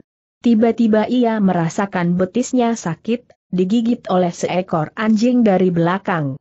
Secepat kilat ia memutar tubuhnya dan menghantam kepala anjing itu. Sekali pukul anjing itu telah roboh dan tidak berkutik lagi. Tetapi anjing yang lain tak mau mundur. Dengan buasnya anjing-anjing itu menubruk serentak. Membuat Jaka Peki kerepot dalam usahanya melawan dan menghalau. Ia memukul dan menendang. Sayang, pundak kirinya belum sembuh, sehingga tangan kiri tak bisa digerakkan sehingga tangan kiri itu tak dapat dipergunakan untuk melawan dan memukul. Tiba-tiba tangan kirinya terasa amat sakit, kena digigit oleh seekor anjing. Pada saat yang hampir bersamaan, betis kakinya tergigit pula. Menyusul paha, sehingga ia merasakan kesakitan yang amat hebat. Darah bercucuran dari luka, dan tenaganya pun makin surut. Akhirnya ia roboh terguling, dan anjing itu saling berebut untuk menggigit tangan, kepala, leher, pundak, punggung dan apa saja yang bisa digigit. Sehingga Jaka Pekik menderita luka yang sangat parah. Dalam keadaan setengah pingsan didengarnya suara bentakan nyaring, suara wanita. Selanjutnya ia tak tahu apa-apa lagi, karena telah pingsan. Jaka Pekik tak tahu, berapa lama ia pingsan. Pada saat ia mendapatkan kesadarannya, ia mendengar suara orang, panasnya sudah mulai turun. Mudah-mudahan bisa tertolong. Perlahan-lahan Jaka Pekik membuka matanya. Ternyata ia telah roboh di atas balai-balai dalam sebuah kamar dan diterangi oleh sebuah lampu minyak. Kemudian dilihatnya pula seorang laki-laki setengah tua berdiri di dekat pembaringan. Tiba-tiba tangan kirinya terasa amat sakit, kena digigit oleh seekor anjing. Pada saat yang hampir bersamaan, betis kakinya tergigit pula. Paman, di mana? Aduh cakap pekik tidak kuasa meneruskan perkataannya. Karena sekujur badannya amat sakit dan panas sekali. Tetapi begitu merasa sakit, kesadarannya datang. Ia segera ingat telah diserang oleh sekawanan anjing galak. Anak, umurmu panjang, kata laki-laki tua itu. Apakah engkau lapar? Ia memang merasa amat lapar. Tetapi sebelum ia kuasa menjawab, matanya mendadak gelap dan ia pingsan lagi. Dan ketika ia sadar kembali, laki-laki tadi tidak tampak. Ah, mengapa aku harus menderita katanya dalam hati. Ah umurku. Tinggal setengah tahun lagi. Daripada menderita begini, lebih baik aku mati sekarang saja. Seluruh badannya dirasakan amat sakit, dan ia tidak bisa bergerak. Meskipun demikian hidung tabibnya telah menghirup bau obat yang amat keras.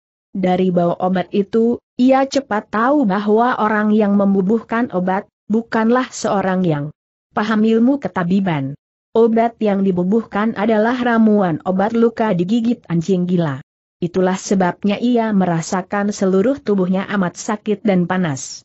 Padahal ia tidak digigit anjing gila.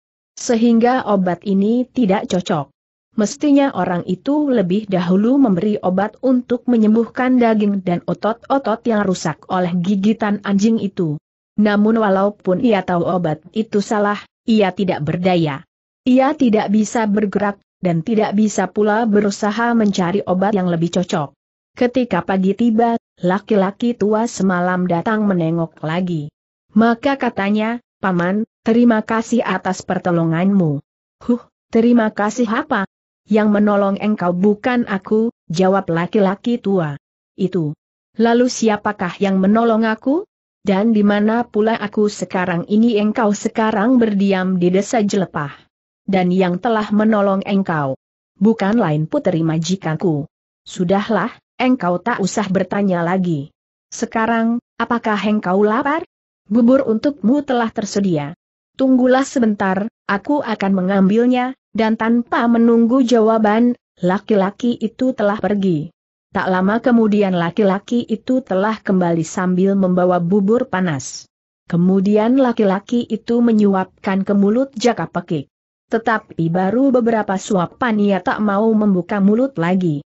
Ia tak enak makan, sekalipun ia merasa lapar. Ah, kasihan sekali nasib bocah ini. Mengapa sebabnya ia selalu dirundung oleh derita? Untung delapan hari kemudian sakitnya telah mulai ringan. Ia mulai dapat bangun, nernun tenaganya seperti habis dan ia tidak kuasa untuk berdiri. Ia tahu bahwa apa yang dirasakan ini, sebagai akibat terlalu banyak mengeluarkan darah. Sehingga tenaganya tak bisa pulih dalam waktu singkat. Kemudian pada suatu hari ketika ia merasa telah kuat, ia menyatakan kepada perawatnya itu untuk mengucapkan terima kasihnya kepada majikan orang itu. Permintaan itu dikabulkan, dan ia segera diajak keluar dari dalam kamar, untuk menghadap majikannya. Setelah melewati beberapa ruangan, tibalah mereka pada suatu ruangan yang luas dan dihias menyedapkan. Ia agak takut-takut untuk masuk ke dalam ruang ini. Dan mendadak ia ingat akan keadaannya. Pakaiannya telah compang-camping dan bernoda darah pula. Mengingat keadaannya itu ia menjadi malu dan menundukkan kepalanya.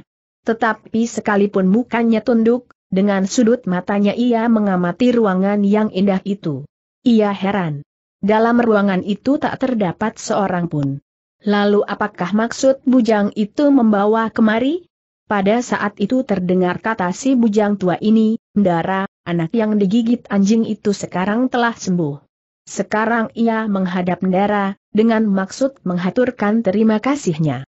Tiba-tiba muncullah seorang gadis cilik dari balik pintu. Katanya, Gimin, engkau terlalu Apakah maksudmu membawa bocah ini kemari? Engkau tahu pakaiannya penuh kutu. Berarti akan mengotori ruangan. Oh, oh, ya. Gimin tergagap. Jaka Pekik makin merasa malu. Dalam hatinya tidak bisa membantah kebenaran gadis itu. Pakaiannya yang telah kotor dan compang-camping, dirasakan amat gatal. Berarti pakaiannya telah penuh kutu. Walaupun demikian ia mencoba mencuri pandang. Ternyata gadis cilik ini cantik dan pakaiannya terbuat dari bahan sutra. Oleh sebab itu ia segera menduga bahwa gadis inilah yang sudah menolong dirinya, ketika dikeroyok oleh sekawanan anjing galak. Tanpa ragu-ragu lagi ia telah berkata, terima kasih atas pertolongan Dara. Untuk itu aku tak akan melupakan selama hidup. Gadis cantik itu kaget, Sejenak kemudian ia tertawa dan berkata, Ah, Gimin. Engkau terlalu. Mengapa engkau mempermainkan bocah tolol ini? Gimin tertawa senang. Lalu jawabnya, apakah salahnya jika bocah tolol ini berlutut di depanmu? Bocah ini toh belum pernah melihat darah. Sehingga begitu melihat engkau, telah menduga bahwa engkau istri majikan kita. Jaka Pekik kaget. Ia cepat berdiri saking malu, celaka. Ternyata seorang budak pula, telah dianggapnya anak majikan. Sambil menahan ketawanya gadis itu mengamati jaka pekik penuh selidik. Sesaat kemudian katanya lirih, Dara Kakung dan Dara Putri sedang repot. Maka beliau tak dapat menerima kedatanganmu. Sebaiknya engkau menghadap Dara Sri Tanjung saja. Mari, engkau aku antarkan ke sana. Sehabis berkata ia cepat memutar badan dan berjalan cepat-cepat. Agaknya budak perempuan ini takut kalau kutu pakaian jaka pekik berlompatan, dan pindah ke pakaiannya. Jaka Pekik mengikuti di belakang Gimin dan Inah. Lalu ia melihat bahwa sekalipun hanya budak, pakaian yang dikenakan oleh budak-budak itu terbikin dari bahan sutra yang mahal. Membuat hatinya heran apakah majikan rumah ini seorang kaya raya? Tetapi dengan melihat ruangan-ruangan dalam rumah yang terhias indah itu, benarlah bahwa majikan rumah ini seorang kaya.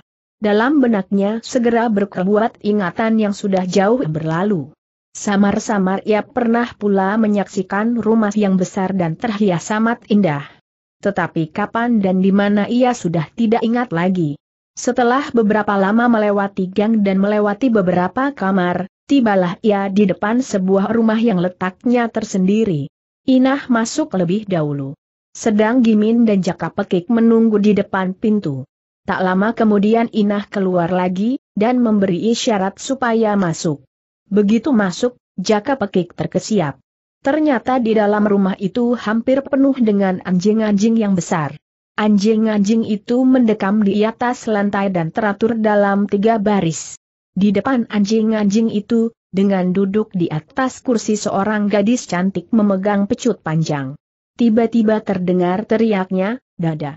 Hampir berbareng seekor anjing telah melompat dan moncongnya langsung menggigit dada seseorang yang berdiri di sudut tembok.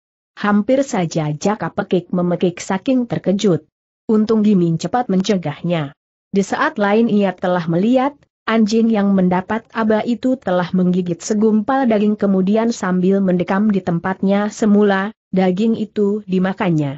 Sekarang ia baru tahu bahwa seseorang yang berdiri di sudut tembok itu hanya tiruan saja, dan pada beberapa bagian tubuhnya yang berbahaya digantungkan potongan-potongan daging. Tengkuk teriak gadis itu lagi. Anjing kedua cepat melompat dan menggigit tengkuk orang itu.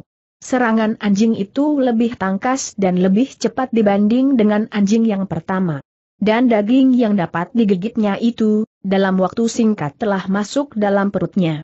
Menyaksikan keadaan dalam rumah ini ia menjadi ingat akan sebabnya ia menderita dan berada di rumah ini. Ia telah diserang oleh sekawanan anjing galak dan sesaat sebelum pingsan, ia mendengar suara bentakan wanita. Sekarang menjadi jelas. Anjing-anjing yang sudah mengeroyoknya itu, tentu kawanan anjing ini. Dan kiranya, wanita yang membentak itu, juga gadis yang sekarang memberi aba itu. Ah, Tiba-tiba saja darahnya bergolak. Hatinya amat penasaran. Ternyatalah sekarang pertolongan yang diterima dari tuan rumah, bukan pertolongan dari rasa kasih. Akan tetapi terpaksa memberi pertolongan, karena anjing-anjingnya telah mencelakakan orang lain. Memperoleh ingatan demikian, ia menjadi marah sekali. Tanpa membuka mulut ia telah memutar tubuh berlalu. Hai, Apakah kau sudah gila teriak Gimin? Dialah putri majikan kami. Sekarang berlututlah dan mengucapkan terima kasih. Huh, berlutut Jaka Pekik penasaran. Bukankah aku menderita olah gigitan anjing itu pula? Tiba-tiba gadis itu menoleh dan menggapai dengan tangannya. Katanya, mari sini. Kau sudah sembuh. Jaka Pekik berhenti dan memutar badan. Ketika matanya menyaksikan wajah gadis itu, mendadak saja jantungnya berdegup keras. Ia tidak tahu sebabnya. Tetapi ada semacam pengakuan dalam hatinya, bahwa gadis remaja ini amat ayu sekali. Dan selama hidupnya, ia belum pernah menyaksikan wanita secantik gadis ini. Sepasang matanya bersinar bening dan berpengaruh, sehingga ia tak kuat menentangnya, lalu menundukkan muka. Kemarilah panggil gadis itu. Jaka Pekik mengangkat mukanya. Sekali lagi pandangan Metu bertaut. Metu yang bening dan berpengaruh. Dan tanpa sesadarnya, ia telah melangkah maju. Setelah agak dekat, gadis itu berdiri dan menyambar lengan Jaka Pekik. Jaka Pekik terkejut dan tubuhnya gemetaran secara mendadak. Entah mengapa sebabnya. Ia menjadi bingung sendiri, karena tangan gadis itu terasa sangat halus dan ia ingin dipegang terus. Apakah engkau marah kepadaku tanya gadis itu dengan tersenyum. Tentu saja Jaka Pekik amat penasaran, karena anjing-anjing itu tah yang membuatnya menderita. Dan karena penasarannya itu pula, ia tadi sudah akan pergi sebelum bertemu dengan gadis ini. Tetapi sekarang, begitu merasakan halusnya kulit dan semerbak harumnya rambut gadis ini, hatinya menjadi lain. Ada sesuatu perasaan yang mengharap agar bisa berdekatan dengan gadis itu. Dan membuat tanpa sesadarnya, Jaka Pekik telah menyahut, tidak. Gadis itu tersenyum. Lalu ia mengenalkan namanya. Namaku Sri Tanjung. Dan kau, siapa namamu? Aku. Jaka Pekik. Bagus, namamu amat bagus. Ya, Jaka Pekik berarti anak laki-laki yang tampan, Sri Tanjung memuji. Agaknya engkau bukan dilahirkan oleh keluarga rakyat biasa. Agaknya engkau masih keturunan bangsawan seperti aku. Mari. Mari duduklah. Sri Tanjung menunjuk kepada kursi di samping kursi yang tadi dipergunakan duduk. Jaka Pekik tidak membantah. Keramahan sikap gadis itu membuat ia lupa kepada sakit hatinya. Tetapi bukan hanya keramahan gadis itu sendiri yang mempengaruhi hatinya sendiri. Dalam hati pemuda tanggung ini terdapat pula semacam perasaan baru yang aneh. Ia merasa amat tertarik kepada gadis ini dan dalam hatinya timbul pula perasaannya yang ingin selalu bisa berdekatan dengan gadis sayu ini. Oleh sebab itu sesudah mengangguk, ia menuju ke kursi yang ditunjuk oleh Sri Tanjung.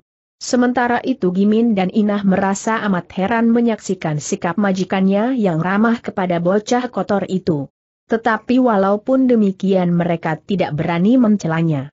Tiba-tiba terdengarlah Sri Tanjung memberikan abak kepada anjingnya, jantung.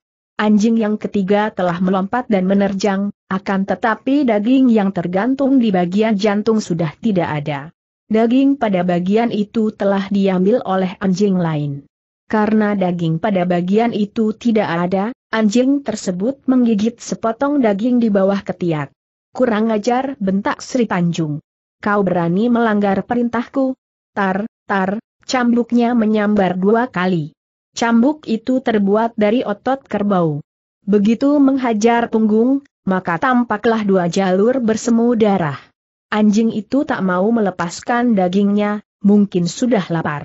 Karena itu si anjing malah menggeram seperti marah. Sri Tanjung makin marah. Bentaknya, hai, tidak juga engkau lepaskan daging. Itu?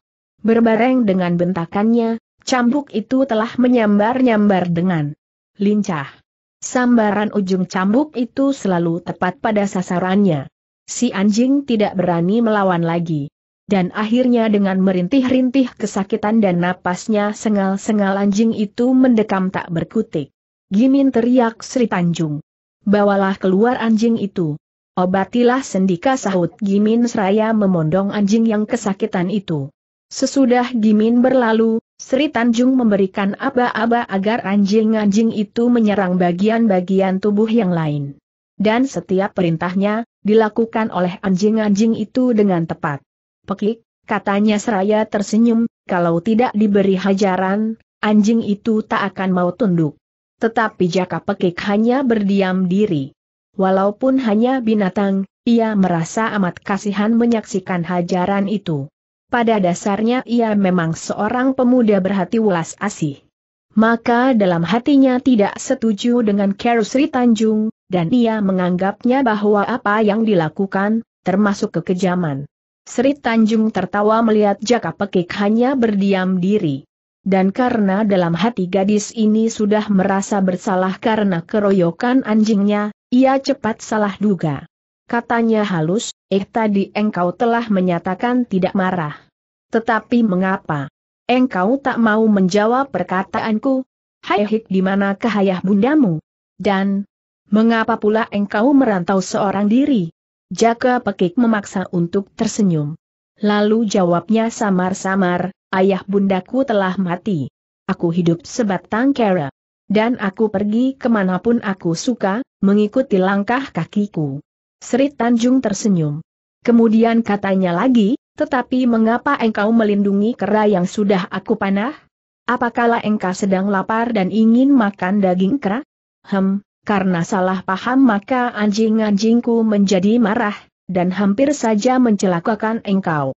Kalau yang bicara bukan gadis cantik Sri Tanjung, mungkin sekali Jaka Pekik tersinggung. Maka dengan menggelengkan kepalanya, jawabnya, tidak. Aku bukannya menghendaki daging kera. Lagi-lagi Sri Tanjung tersenyum manis. Kemudian sambil menepuk pundak Jaka Pekik, katanya, Pekik, siapakah gurumu? Jaka Pekik terkejut. Tetapi ia cepat membohong. Aku tidak punya guru. Sri Tanjung tertawa. Katanya, engkau jangan berdusta. Buktinya dengan sekali pukul engkau telah membunuh salah seekor anjingku. Ah, mungkin yang aku lakukan itu, dalam usahaku membela diri. Jika aku bisa berkelahi, hanya sedikit. Dan apa yang kumiliki, hanya ajaran ayahku sendiri. Agaknya jawaban itu cukup memuaskan gadis sayu ini. Ia berpaling kepada Inah. Perintahnya, Inah. Antarkanlah ke kamar mandi, dan berilah ganti pakaian yang cukup pantas. Inah menyanggupkan diri. Kemudian mengajak Jaka Pekik meninggalkan rumah itu. Kalau boleh, sebenarnya ia ingin selalu berdampingan dengan Sri Tanjung yang cantik itu. Dan sedetik saja ia tidak mau meninggalkan. Entah apa pula yang menyebabkan. Hanya menurut perasaannya amat berat. Karena itu ia mengikuti langkah Inah dengan malas. Dan ketika tiba di ambang pintu, ia menoleh. Ketika itu Sri Tanjung justru sedang mengamatinya. Sehingga dua pasang mata orang muda itu bertaut. Sri Tanjung menutupi rasa malunya dengan tertawa, sedang Jaka Pekik jadi kelabakan. Karena kakinya melangkah dan matang tidak melihat ke depan, ia terantuk dan roboh terguling. Ia amat malu sekali. Tetapi tanpa mengaduh, ia cepat bangkit dan melangkah mengikuti Inah. Hai hik, Inah tertawa.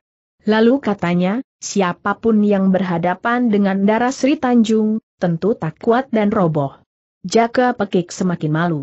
Saking malu, ia mendahului dan berjalan cepat. Tetapi karena tak tahu tujuannya, ia tersesat. Inah yang di belakang telah berteriak mengejek, Hai, engkau mau ke mana? Apakah engkau mau pergi ke kakus? Jaka Pekik berhenti dengan perasaan yang makin malu. Dan tanpa membuka mulut, ia kembali menghampiri Inah. Inah masih tertawa. Lalu katanya, aku sedia mengantarkan engkau, asal engkau mau berkata, Mbak Kiyu Inah yang baik, tolong aku. Karena tak bisa berbuat lain, Jaka Pekik menurut katanya, Mbak Kiyu Inah. Inah cepat memotong, apa maksudmu? Sudilah engkau menolong aku. Antarkanlah aku kembali ke kamarku Inah tertawa senang. Jawabnya, baik, marilah aku antarkan. Tak lama kemudian mereka telah tiba kembali di depan kamar Jaka Pekik. Ketika itu Gimin menghampiri. Maka kata Inah, Ndara Sri Tanjung memerintahkan, agar bocah ini disuruh mandi. Kemudian berilah dia ganti pakaian yang sepatutnya. Inggi Sendika, jawab Gimin dengan membungkuk memberi hormat. Menyaksikan sikap Gimin itu, Jaka Pekik menduga bahwa Inah ini bukan budak biasa. Mungkin, Inah masih terhitung famili dengan pemilik rumah ini. Pada saat Jaka Pekik berpikir itu, datanglah lima bujang laki-laki menghampiri sambil tersenyum-senyum. Tetapi Inah cepat berlalu. Salah seorang memanggilnya, akan tetapi Inah tak menggubris dan berpaling pun tidak. Selesai mandi, Gimin menyerahkan satu setel pakaian baru kepada Jaka Pekik. Begitu menerima pakaian itu, Jaka Pekik terkejut. Karena pakaian yang diterimanya itu, baik potongan maupun warnanya sama dengan pakaian bujang laki-laki yang lain. Celaka. Sejak kapan aku melamar menjadi budak di sini katanya dalam hati. Tetapi sesaat kemudian terbayanglah wajah Sri Tanjung yang amat ayu. Sedang hatinya selalu ingin bisa berdekatan dengan darah yang menarik hati itu. Teringat kepada gadis itu, pikirnya, ah, jika aku tak mau mengenakan pakaian ini, Sri Tanjung tentu marah. Ah apakah salahnya aku menjadi budak gadis sayu itu? Pada saat ini Jaka Pekik memang telah menghadapi kedewasaannya. Sebagai seorang pemuda berumur 15 tahun, biasanya pikirannya melambung tinggi dan membayangkan sesuatu yang belum pernah dialami. Akan tetapi bocah ini belum menyadari, bahwa saat sekarang ini ia mulai tergoda oleh perasaan baru, mengenal cinta kepada wanita. Tetapi ternyata kemudian, apa yang diharapkannya tidak pernah terjadi. Ia tak pernah mendapat panggilan darah Ayu itu, dan tidak pernah pula bisa menyaksikan wajah Ayu itu. Jangan lagi wajah Ayu Sri Tanjung, sedang wajah manis Inah pun ia tidak menyaksikannya lagi. Ia menjadi sedih. Ia ingin bertemu. Akan tetapi ia tak berani sembarang bergerak dalam rumah itu. Gimin telah memberi pesan, bahwa bujang laki-laki tidak boleh bergerak semaunya bujang laki-laki tidak diperkenankan masuk ke rumah bagian belakang tanpa seizin majikan dan atau sedang dipanggil. Rumah ini memang amat luas. Pekarangannya dipagari oleh tembok yang cukup tinggi. Ia jarang sekali bisa bersuara dengan penduduk desa yang lain. Sehingga penghuni rumah ini, seperti terpisah dan terpencil dengan dunia masyarakat bebas. Membuat hatinya mengeluh dan tidak puas. Kalau saja ia merasa tidak terikat oleh bayangan wajah Ayu Sri Tanjung, kiranya ia sudah melarikan diri diam-diam. Tanpa terasa sebulan telah dilewatkan hidup sebagai budak di rumah keluarga Surangrana. Luka-luka bekas gigitan anjing itu tinggal bekas-bekasnya saja. Ia telah sehat kembali seperti sedia kala. Akan tetapi begitu penderitaannya digigit anjing sembuh, ia diserang oleh derita lain. Racun dingin dalam tubuhnya mengamuk setiap tujuh hari sekali. Setiap racun dingin itu mengamuk, ia tak bisa bangkit dari tempat tidurnya. Karena tiap kali Jaka Pekik jatuh sakit, maka hari itu Gimin masuk ke dalam kamarnya tak terkejut. Ia hampiri, lalu katanya, Pekik, engkau mendapat hadiah pakaian baru dari Ndara. Gimin meletakkan bungkusan pakaian yang dimaksud di samping Jaka Pekik. Ketika ia membuka bungkusan itu, ia mengeluh. Pakaian barunya itu, lagi-lagi pakaian bujang. Dengan kenyataan ini sama artinya, ia telah dianggap sebagai budak keluarga ini, tanpa berdamai lebih dahulu. Namun Jaka Pekik tidak berpikir tentang itu. Ia merasa ajalnya sudah hampir tiba. Maka apakah perlunya berpikir untuk pergi dari rumah ini? Dengan kedudukannya sebagai budak, Apabila nyawanya direnggut maut, malah mayatnya akan ada orang yang merawat dan menguburkan pula. Ketika itu hari masih pagi. Mendadak ia mendengar suara halus yang amat dikenal dan amat diharap-harapkannya. Ialah suara Sri Tanjung yang amat merdu menyelinap dalam telinganya. Dengan jantung berdetak keras ia mencarinya. Lalu tampak olehnya tiga orang muda berjalan berdampingan. Seorang pemuda tampan dengan pakaian mentereng dan seorang gadis cantik yang pakaiannya indah, berjalan bersama dengan Sri Tanjung. Tanpa sesadarnya Jaka Pekik telah mengikuti mereka dari kejauhan. Jaka Pekik seperti tidak mau melepaskan kesempatan bagus ini, untuk bisa memandang dan menikmati wajah Ayu Sri Tanjung yang membuat ia tergila-gila. Kemudian terdengar gadis tamu itu berkata, Mbak Yu, tentunya engkau telah jauh maju lagi dalam ilmu. Sri Tanjung tertawa merdu. Jawabnya, ah, engkau pandai menggoda di ajeng, walaupun aku berlatih setahun lagi, tak mungkin aku bisa menjajari kepandaianmu. Pemuda tampan itu tertawa. Sambungnya, ah, kalian selalu berusaha memuji yang lain. Tetapi secara jujur aku katakan, ilmu keturunan Paman Surang Rana tiada tandingnya di jagat ini. Aku hanya belajar dan berlatih seorang diri, Sri Tanjung mengelakkan diri. Maka walaupun aku memeras tenaga tak mengenal lelah, tidaklah mungkin aku bisa menjajari kepandaian kalian yang setiap saat dapat melatih diri bersama-sama. Mendengar pernyataan Sri Tanjung itu, si gadis hanya tersenyum manis. Akan tetapi si pemuda yang khawatir Sri Tanjung marah, ia cepat berkata, ah, mana bisa, Engkau putri suami istri Sakti Mandraguna. Di bawah pimpinan Paman dan Bibi, bagaimanapun pula lebih tertib dari pimpinan guru. Akan tetapi jawabnya pemuda itu malah membuat Sri Tanjung tidak senang dan cemburu. Karena itu gerutunya, huh, engkau membela saudara seperguruanmu. Pemuda itu cepat memotong, dia jeng, engkau salah. Aku tak pernah pilih kasih. Engkau putri pamanku, sedang adik Sri Tanjung putri guruku. Akan tetapi jawaban pemuda itu tak dapat mengusir perasaan cemburunya. Bibirnya tersenyum, tetapi kilatan matanya menunjukkan perasaannya yang tidak senang. Dan karena terdorong oleh rasa cemburunya itu, katanya kemudian, Triningsih. Kesempatan sebaik hari ini sulit ditemukan pada hari lain. Untuk itu sudilah engkau menemani aku berlatih diri. Tetapi Triningsih bukan perempuan totol.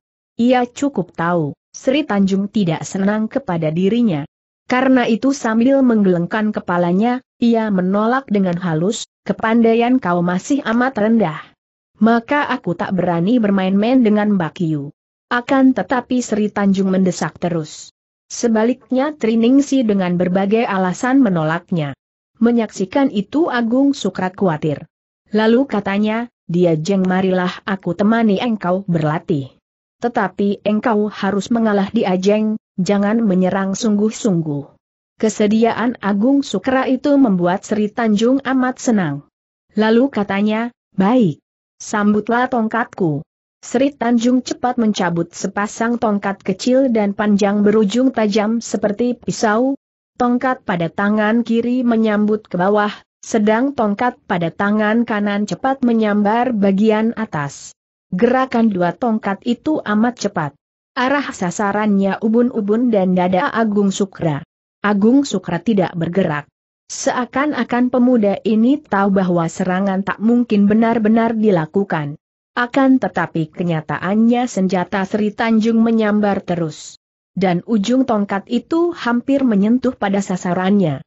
Pada detik yang amat berbahaya itu mendadak terdengar suara terang-terang. Dan dua batang tongkat itu terpental membalik. Ternyata Agung Sukra dapat bergerak amat cepat. Tangarnya telah menghunus pedang dan menangkis tongkat itu tepat sekali. Kecepatan gerak itu sungguh-sungguh menakjubkan. Bagus Pudi Sri Tanjung sambil menarik dua senjatanya. Tetapi dalam saat dua tongkat berujung tajam itu telah menyambar lagi. Gerakan Sri Tanjung amat lincah dan gesit. Sepasang senjatanya bergerak amat cepat menyambar-nyambar laksana dua ekor ular yang hidup berkelebatan mematuk bagian-bagian tubuh berbahaya. Tetapi ilmu pedang Agung Sukra pun amat hebat. Setiap serangan tongkat Sri Tanjung selalu dapat dihalaukan dengan tepat. Menyaksikan itu Jaka Pekik terpesona. Ia mengamati penuh perhatian dan memuji. Akan tetapi ternyata kemudian, makin lama Agung Sukra makin terdesak. Tiba-tiba tongkat kiri Sri Tanjung menyambar dari kanan ke kiri, sedang tongkat kanan menyambar dari atas ke bawah. Agung Sukra memekik tertahan dan melompat mundur. Akan tetapi Sri Tanjung tak mau menyia-nyiakan kesempatan bagus itu, dan tongkatnya terus menyambar cepat sekali. Tahan teriak Agung Sukra. Aku menyerah kalah. Dia jeng, aku takluk. Pengakuan Agung Sukra itu membuat Sri Tanjung senang sekali dan menghentikan serangannya sambil tertawa. Kemudian katanya, ah, engkau hanya pura-pura saja terhadapku. Hampir berbareng dengan katanya itu, tangannya bergerak dan melemparkan sepasang tongkatnya. Bles, sepasang tongkat itu telah menancap pada tembok, dan hampir tidak tampak lagi. Jaka pekik terkesiap. Mimpi pun tidak bahwa gadis yang tampaknya lemah lembut itu, memiliki kesaktian sedemikian tinggi. Apa yang baru disaksikan itu membuat hatinya makin tergila-gila. Tanpa sesadarnya telah berteriak, bagus. Semula tiga orang muda itu tidak memperhatikan hadirnya Jaka Pekik. Karena bocah itu berteriak, mereka berpaling dan mengamati. Akan tetapi karena Jaka Pekik mengenakan pakaian sebagai budak, Sri Tanjung tidak memperdulikannya. Agaknya gadis sayu ini telah lupa kepada budak barunya yang sudah tergila-gila. Sementara lama mereka tak membuka mulut. Tiba-tiba Sri Tanjung bertanya, tahukah engkau akan dasar ilmu tongkatku tadi? Ah, ah, Aku tak tahu, tak tahu jawab Agung Sukra. Walaupun baru berumur 15 tahun, tetapi Jaka Pekik seorang anak cerdas. Maka menyaksikan sikap Agung Sukra dan Sri Tanjung itu, ia amat cemburu berbareng sedih. Ia merasa kecil, sehingga tidak mungkin bisa bersaing melawan Agung Sukra dalam mendekati gadis sayu itu. Karena cemburu, ia menjadi tidak senang kepada Agung Sukra. Maka begitu mendengar pemuda itu tidak bisa menjawab pertanyaan Sri Tanjung, ia menjadi senang. Ia cukup paham akan dasar ilmu tongkat itu. Karena ilmu tongkat yang dimainkan perawan Ayu tadi, mempunyai dasar yang sama dengan ilmu ayah angkatnya, Wijaya. Karena ia tahu, tanpa pikir panjang lagi telah berteriak, dasarnya, ilmu tombak bugis. Mendengar teriakan Jaka Pekik itu, mereka terkejut. Sebenarnya baik Agung Sukra maupun Triningsi bukannya tidak tahu. Kalau tadi Agung Sukra pura-pura tidak tahu, hanyalah tidak mau menyebutkannya, dengan maksud untuk menyenangkan hati Sri Tanjung yang berwatak agak sombong itu. Di antara Sri Tanjung dan Triningsih, sebenarnya terjadi persaingan batin. Karena dua perawan itu sama-sama mencintai Agung Sukra. Akan tetapi dalam bersaing ini Sri Tanjung lebih berani. Mungkin karena menurut anggapan Sri Tanjung, pemuda itu saudara sepupunya, sehingga tidak malu-malu dalam mengutarakan perasaannya. Sebaliknya Triningsih seorang perawan agak pemalu. Ia tidak berani berterang-terangan mengutarakan perasaannya itu kepada Agung Sukra. Meskipun demikian ia mempunyai keuntungan lain. Ia bisa banyak bergaul dan berhubungan rapat karena Agung Sukra berguru kepada ayah Triningsih. Akan tetapi Agung Sukra sendiri, sebenarnya masih ragu-ragu. Ia masih bimbang, siapakah yang harus dipilihnya di antara dua perawan yang sama cantiknya ini. Karena ragu-ragu, sehingga dalam menghadapi dua pihak ia selalu berusaha agar tidak menyinggung perasaan masing-masing. Ia tak mau dijauhi Triningsih, tetapi juga tidak ingin dimarahi Sri Tanjung. Demikianlah. Oleh teriakan Jaka Pekik itu, baik Agung Sukra maupun Triningsih segera menduga bahwa budak itu seorang pelayan Surengerana yang sering melayani pada saat berlatih ilmu. Sehingga muda-mudi ini tidak mempunyai dugaan buruk kepadanya. Tetapi sikap itu, berlainan dengan sikap Sri Tanjung.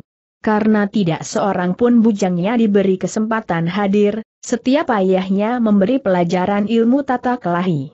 Maka kalau sekarang terdapat seorang budak yang bisa menyebut dengan tepat, terang sekali bahwa budak ini telah melanggar larangan dan mencuri belajar secara diam-diam. Memperoleh pikiran demikian ia cepat menjadi marah. Bentaknya. Titik dua hai, siapa namamu? Dan apa pula sebabnya engkau tahu akan dasar ilmu tongkatku tadi? Lekas jawab. Mendengar pertanyaan itu, Jaka Pekik amat terkejut berbareng sedih. Sekarang jelas, bahwa dirinya bertepuk sebelah tangan. Ia amat tergila-gila kepada Sri Tanjung, tetapi ternyata gadis itu sedikit pun tidak merasa. Karena mendongkot atas sikap Sri Tanjung itu, jawabnya lantang, namaku Jaka Pekik. Tetapi apa yang aku katakan tadi, hanya ngawur saja. Oh, kau, seru Sri Tanjung tertahan. Kemudian katanya, jadi engkau bocah yang digigit anjingku dulu? Hem. Sri Tanjung makin curiga. Ia masih belum lupa akan akibat pukul Jaka Pekik yang membinasakan seekor anjingnya sekali pukul. Karena curiga ia segera menduga, bahwa Jaka Pekik telah diselundupkan oleh musuh ayahnya, untuk bertindak sebagai mata-mata. Memperoleh pikiran demikian, makin keras dugaannya, bahwa Jaka Pekik telah mencuri belajar ilmu ayahnya yang dirahasiakan. Sri Tanjung bermaksud memeriksa Jaka Pekik untuk mendapat keterangan. Akan tetapi sebelum ia melaksanakan maksudnya, ia menyaksikan Triningsih dan Agung Sukra duduk berdampingan sambil berbisik-bisik dengan amat mesra. Menyaksikan itu Sri Tanjung jadi panas dan cemburunya meledak. Ia tak jadi menghampiri Jaka Pekik, dan mengalihkan perhatiannya kepada Triningsih. Katanya, Adik Triningsih, aku dan Kang Mas Agung Sukra telah berlatih. Sekarang temanilah aku berlatih. Tetapi Triningsih yang sedang asik berbisik tidak menyahut dan tidak berpaling. Sikap Triningsih ini makin membuat Sri Tanjung marah. Seraya tertawa dingin, katanya mengejek, hem, walaupun ilmu ayahku tak berharga, tetapi belum tentu kalah dengan ilmu Paman Handaga. Pada dasarnya Triningsih tidak senang kepada Sri Tanjung, oleh pengaruh persaingannya memperebutkan cinta Agung Sukra. Maka mendengar kata-kata Sri Tanjung yang mengejek itu, hatinya cepat tersinggung. Jawabnya dingin, hem. Kakang Agung Sukrat telah mengalah kepadamu, karena dia tahu engkau seorang yang suka cari menang sendiri. Tapi hem, engkau cepat menjadi besar kepala. Tanda petik. Apa? Mengalah Sri Tanjung mendelik marah. Jika mengalah, hayo sekarang kita coba lagi. Triningsih tidak menyahut, dan hanya tertawa dingin. Akan tetapi Sri Tanjung makin marah. Lalu bentaknya, baik. Jika Kang Mas Agung sudah mengalah kepadaku, tentunya engkau tak akan sudi mengalah kepadaku, hem, lidah memang tak bertulang. Bicara gampang, tetapi berbuat belum tentu. Trining sih marah sekali. Namun dia masih bisa menyabarkan diri, mengingat kedudukannya sekarang ini sebagai tamu. Katanya kemudian, jika begini, sebaiknya aku pulang saja. Hem seorang tamu direndahkan, dan dihargakan sama dengan seorang budak. Menyaksikan pertengkaran itu, Agung Sukra khawatir sekali. Untung ia seorang pemuda pintar. Ia segera menemukan kambing hitam. Katanya, sudahlah, mengapa kalian jadi bertengkar? Mengapa kalian mudah diadu domba oleh budak kotor itu? Akan tetapi Sri Tanjung yang terlanjur marah makin tersinggung. Katanya lantang. Titik dua bagus. Engkau telah menghina seorang budaku. Sekalipun Triningsih membanggakan ilmu kepandaiannya, belum tentu bisa merobohkan budaku yang kotor itu dalam tiga jurus. Huh! Triningsih menjadi panas. Sahutnya lantang, huh, engkau menghina aku. Sang kamu budak kotor itu berharga melayani aku? Jaka Pekik tak kuasa menahan sabarnya lagi dihina sebagai budak kotor. Saking tak kuasa menahan marah, teriaknya lantang, apakah aku bukan manusia seperti engkau? Huhuh, jangan menghina orang. Tetapi Trining sih amat malu untuk menghajar budak kotor ini. Maka sambil mengamati Agung Sukrat, katanya, Kakang apakah engkau masih bisa berpeluk? Tangan kepada budak bau yang kurang ajar itu? Kakang hajarlah. Dalam hatinya, sebenarnya Agung Sukra lebih mencintai Triningsih ini daripada kepada Sri Tanjung. Karena itu begitu mendengar kata-kata gadis ini yang setengah beriba, hatinya cepat tersentuh. Lalu sambil memandang Sri Tanjung, katanya halus, dia jeng, bolehkah aku menguji budakmu yang berkepandaian tinggi itu? Menyaksikan sikap Agung Sukra yang membela Triningsih itu, sesungguhnya hatinya tidak senang. Tetapi tiba-tiba dalam benaknya berkelebatlah suatu ingatan. Ia curiga kepada budak ini, dan ia belum mengetahui secara jelas asal-usulnya. Untuk itu kiranya lebih tepat apabila kakak sepupunya ini saja yang mencoba untuk menekan dan mengorek rahasianya. Memperoleh pikiran demikian, katanya kemudian, boleh.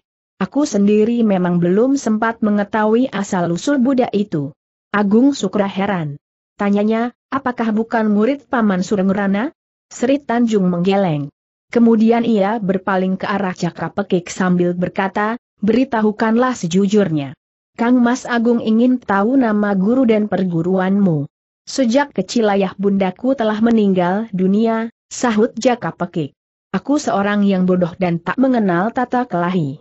Aku hanya mendapat petunjuk dari ayah angkatku saja.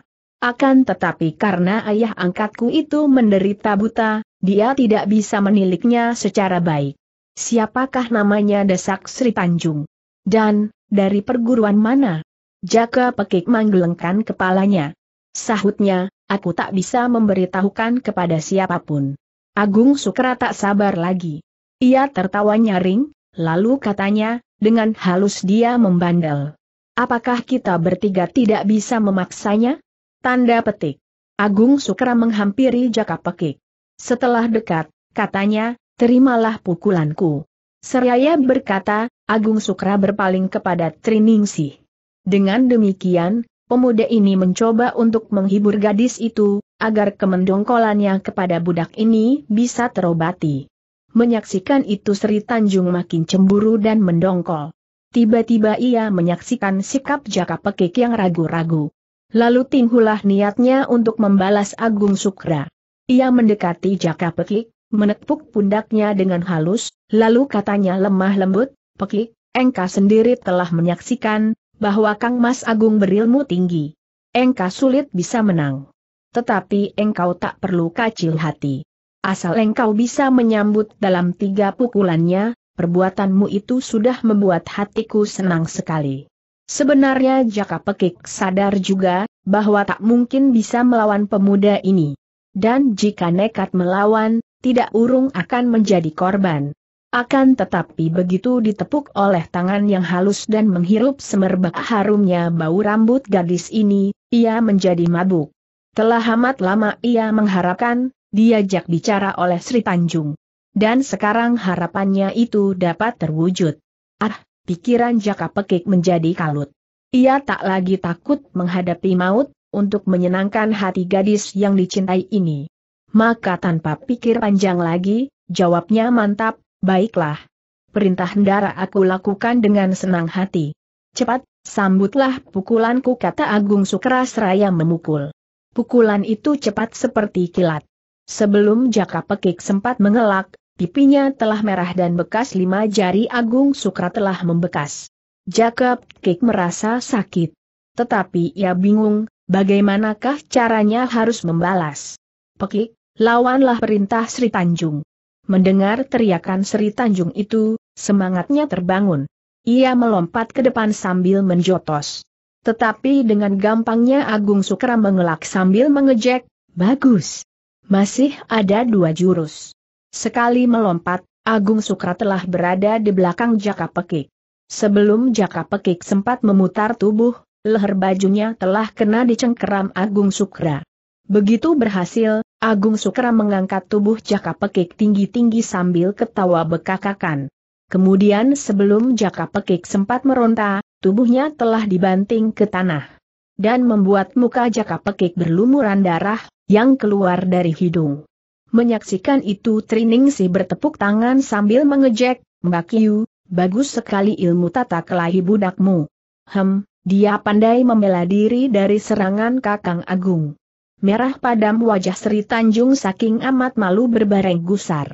Namun ia tak dapat membantah, justru nyatanya Jaka Pekik tidak kuasa melawan pukulan Agung Sukra. Dengan menahan sakit Jaka Pekik merangkak bangun. Dan Agung Sukra yang tidak mendapat perlawanan, berkata sambil tertawa, di ajeng Sri Tanjung, engkau terlalu curiga kepada bocah ini. Ternyata tidak mempunyai kepandaian sedikit pun. Mendengar itu kemarahan Jaka Pekik meledak. Lalu dengan cekatan, ia telah melompat dan menendang kempungan Agung Sukra.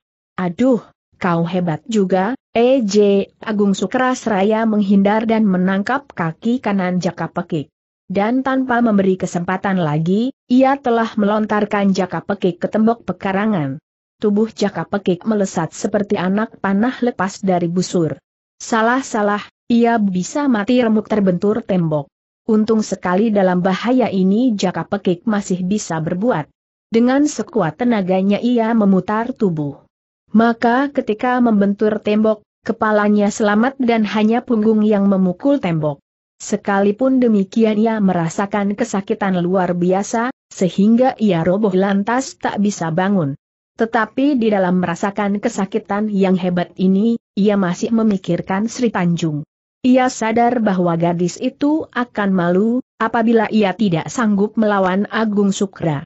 Maka tanpa memikirkan kesakitannya lagi, ia telah menubruk Agung Sukra dan memukul dengan telapak tangan.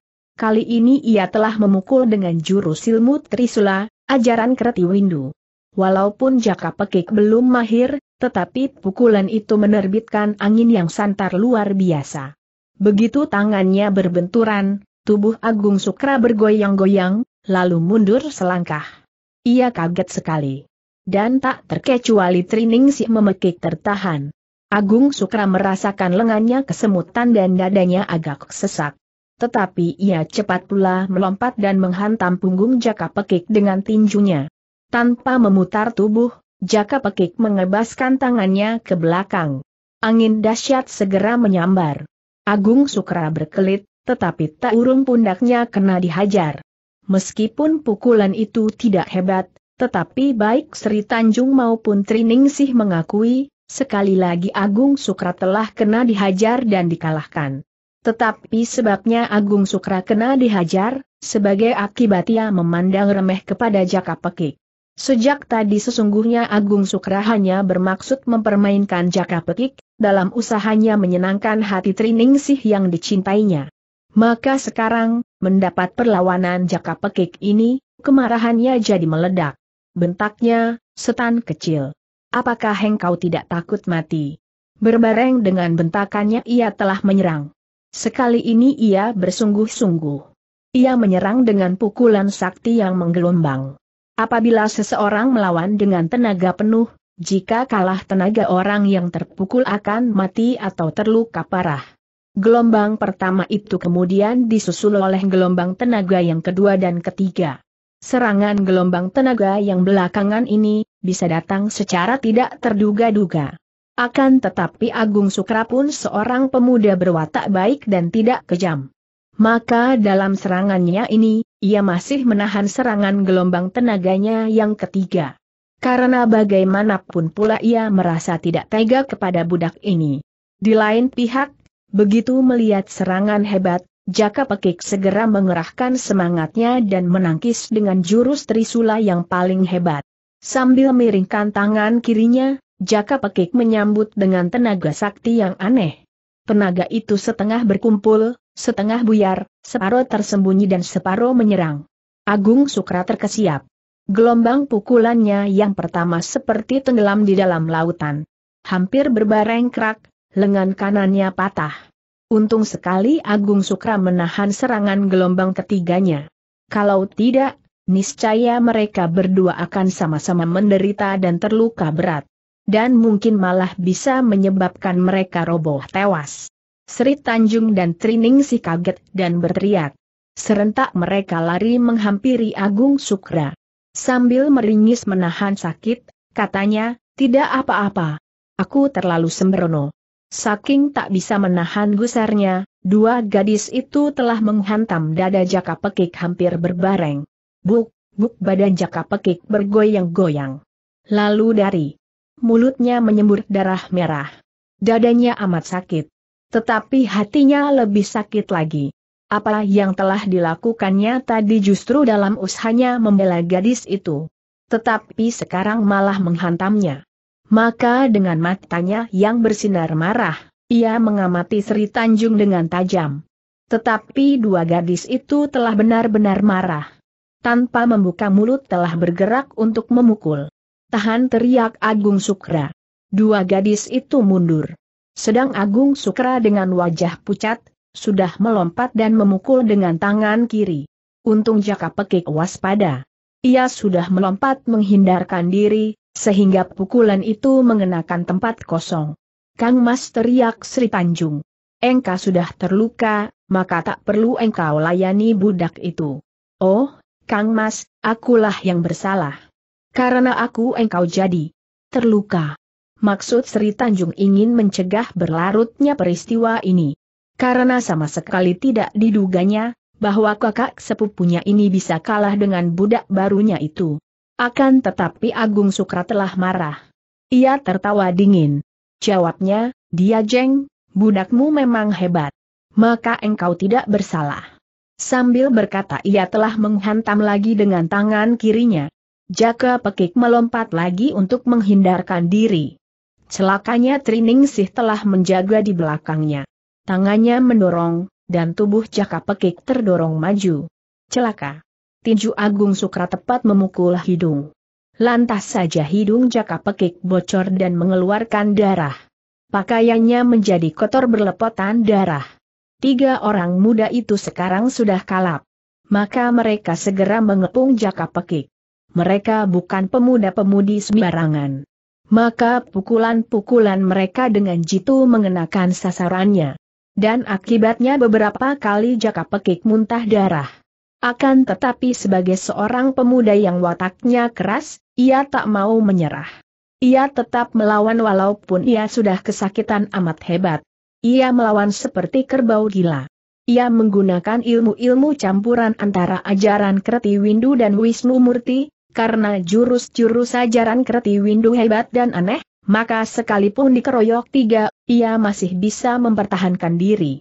Setan kecil bentak Sri Tanjung penasaran. Siapakah yang sudah menyuruh engkau mengacau di rumahku ini?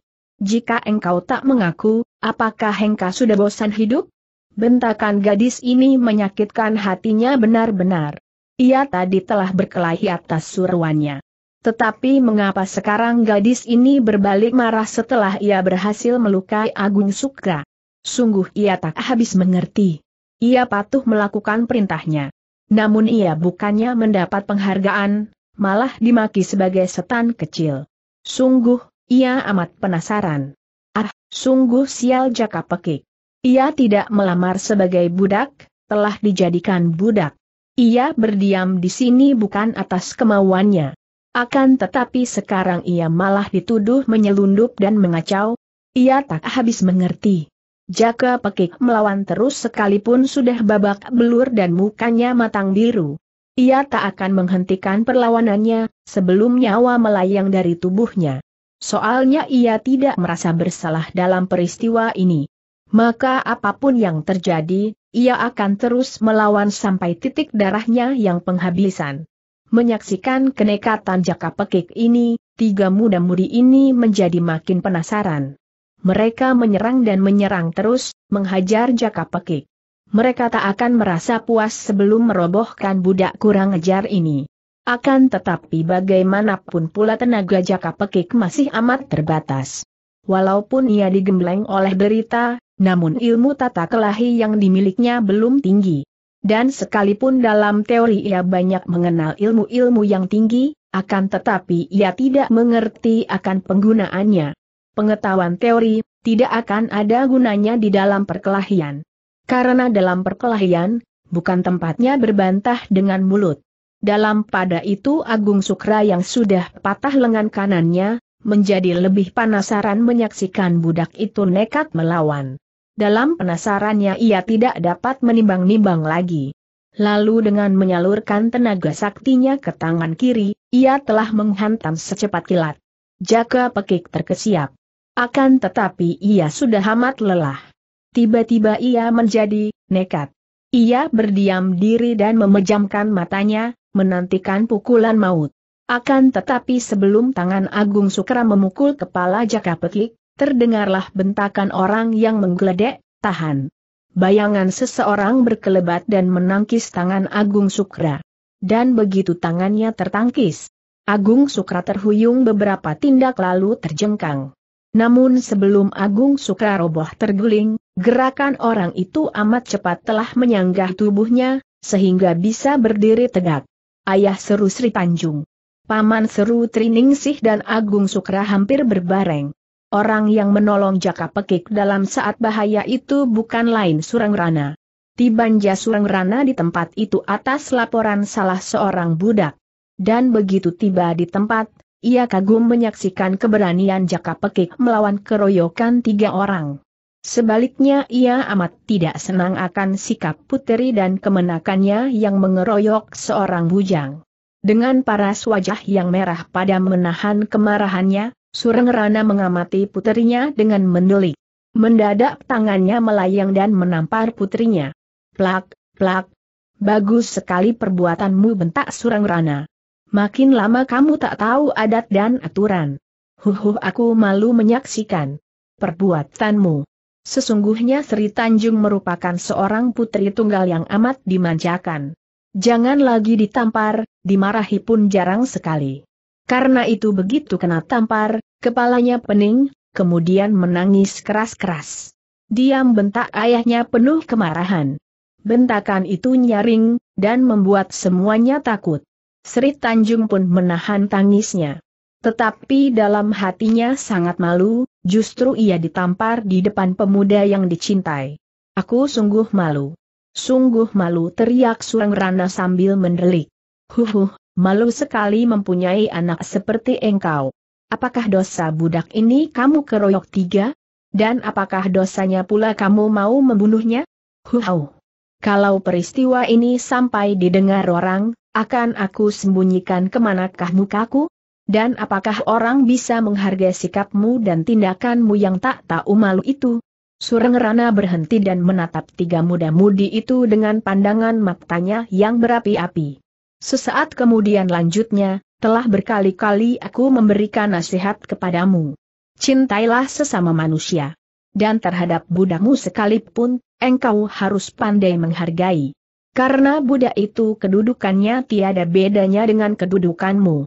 Hanya karena nasib, maka engkau dapat memerintah budak. Akan tetapi di balik itu engkau harus tahu, bahwa budak itu berjasa besar terhadapmu dan terhadap keluargamu. Engkau tinggal memerintah, dan mereka yang mengerjakan.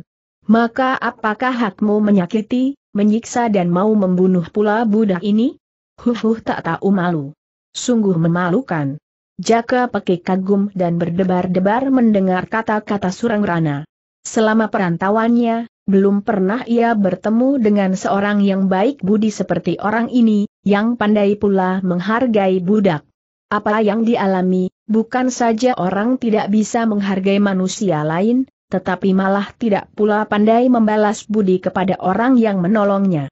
Tiga orang muda itu dengan wajah pucat tidak berani membuka mulut dan berkisar dari tempatnya berdiri. Mereka takut, dan setelah kesadaran datang, mereka pun merasa bersalah. Tadi mereka melakukan penganiayaan kepada Jaka Peki karena kalap. Mereka lupa akan keadaan. Menyaksikan sikap tiga orang muda yang takut itu, hati Jaka Peki lekas pula terharu sehingga sakit hatinya telah dianiaya hampir mati, segera terusir pula dari lubuk hatinya. Apa pula ketika ia menyaksikan pipi Sri Tanjung yang montok dan halus itu sekarang menjadi merah dan bengkak. Ia merasa tidak tega dan merasa amat kasihan.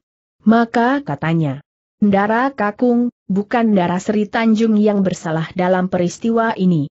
Akan tetapi hambalah yang sudah bersalah tetapi ia menjadi terkejut sendiri. Karena suaranya itu hampir tidak kedengaran. Apa yang dialaminya sekarang ini, bukan lain sebagai akibat pukulan Agung Sukra tadi, yang mengena pada leher. Nah, dengarlah, kata Surang Rana. Walaupun budak, ia mempunyai jiwa besar. Jelas kamu yang bersalah, tetapi ia malah mengatakan dirinya sendiri yang bersalah. Tiga orang muda itu hanya menundukkan kepalanya, dan tidak pula membuka mulut. Setelah menyapukan pandangannya kepada tiga orang muda itu, katanya, sekarang, ikutlah aku. Sureng Rana mendahului melangkah seraya menuntun Jaka Pekik. Setelah masuk di pendapa, ia segera memerintahkan seorang budak, agar cepat mengambil macam-macam obat yang diperlukan untuk mengobati luka-luka Jaka Pekik.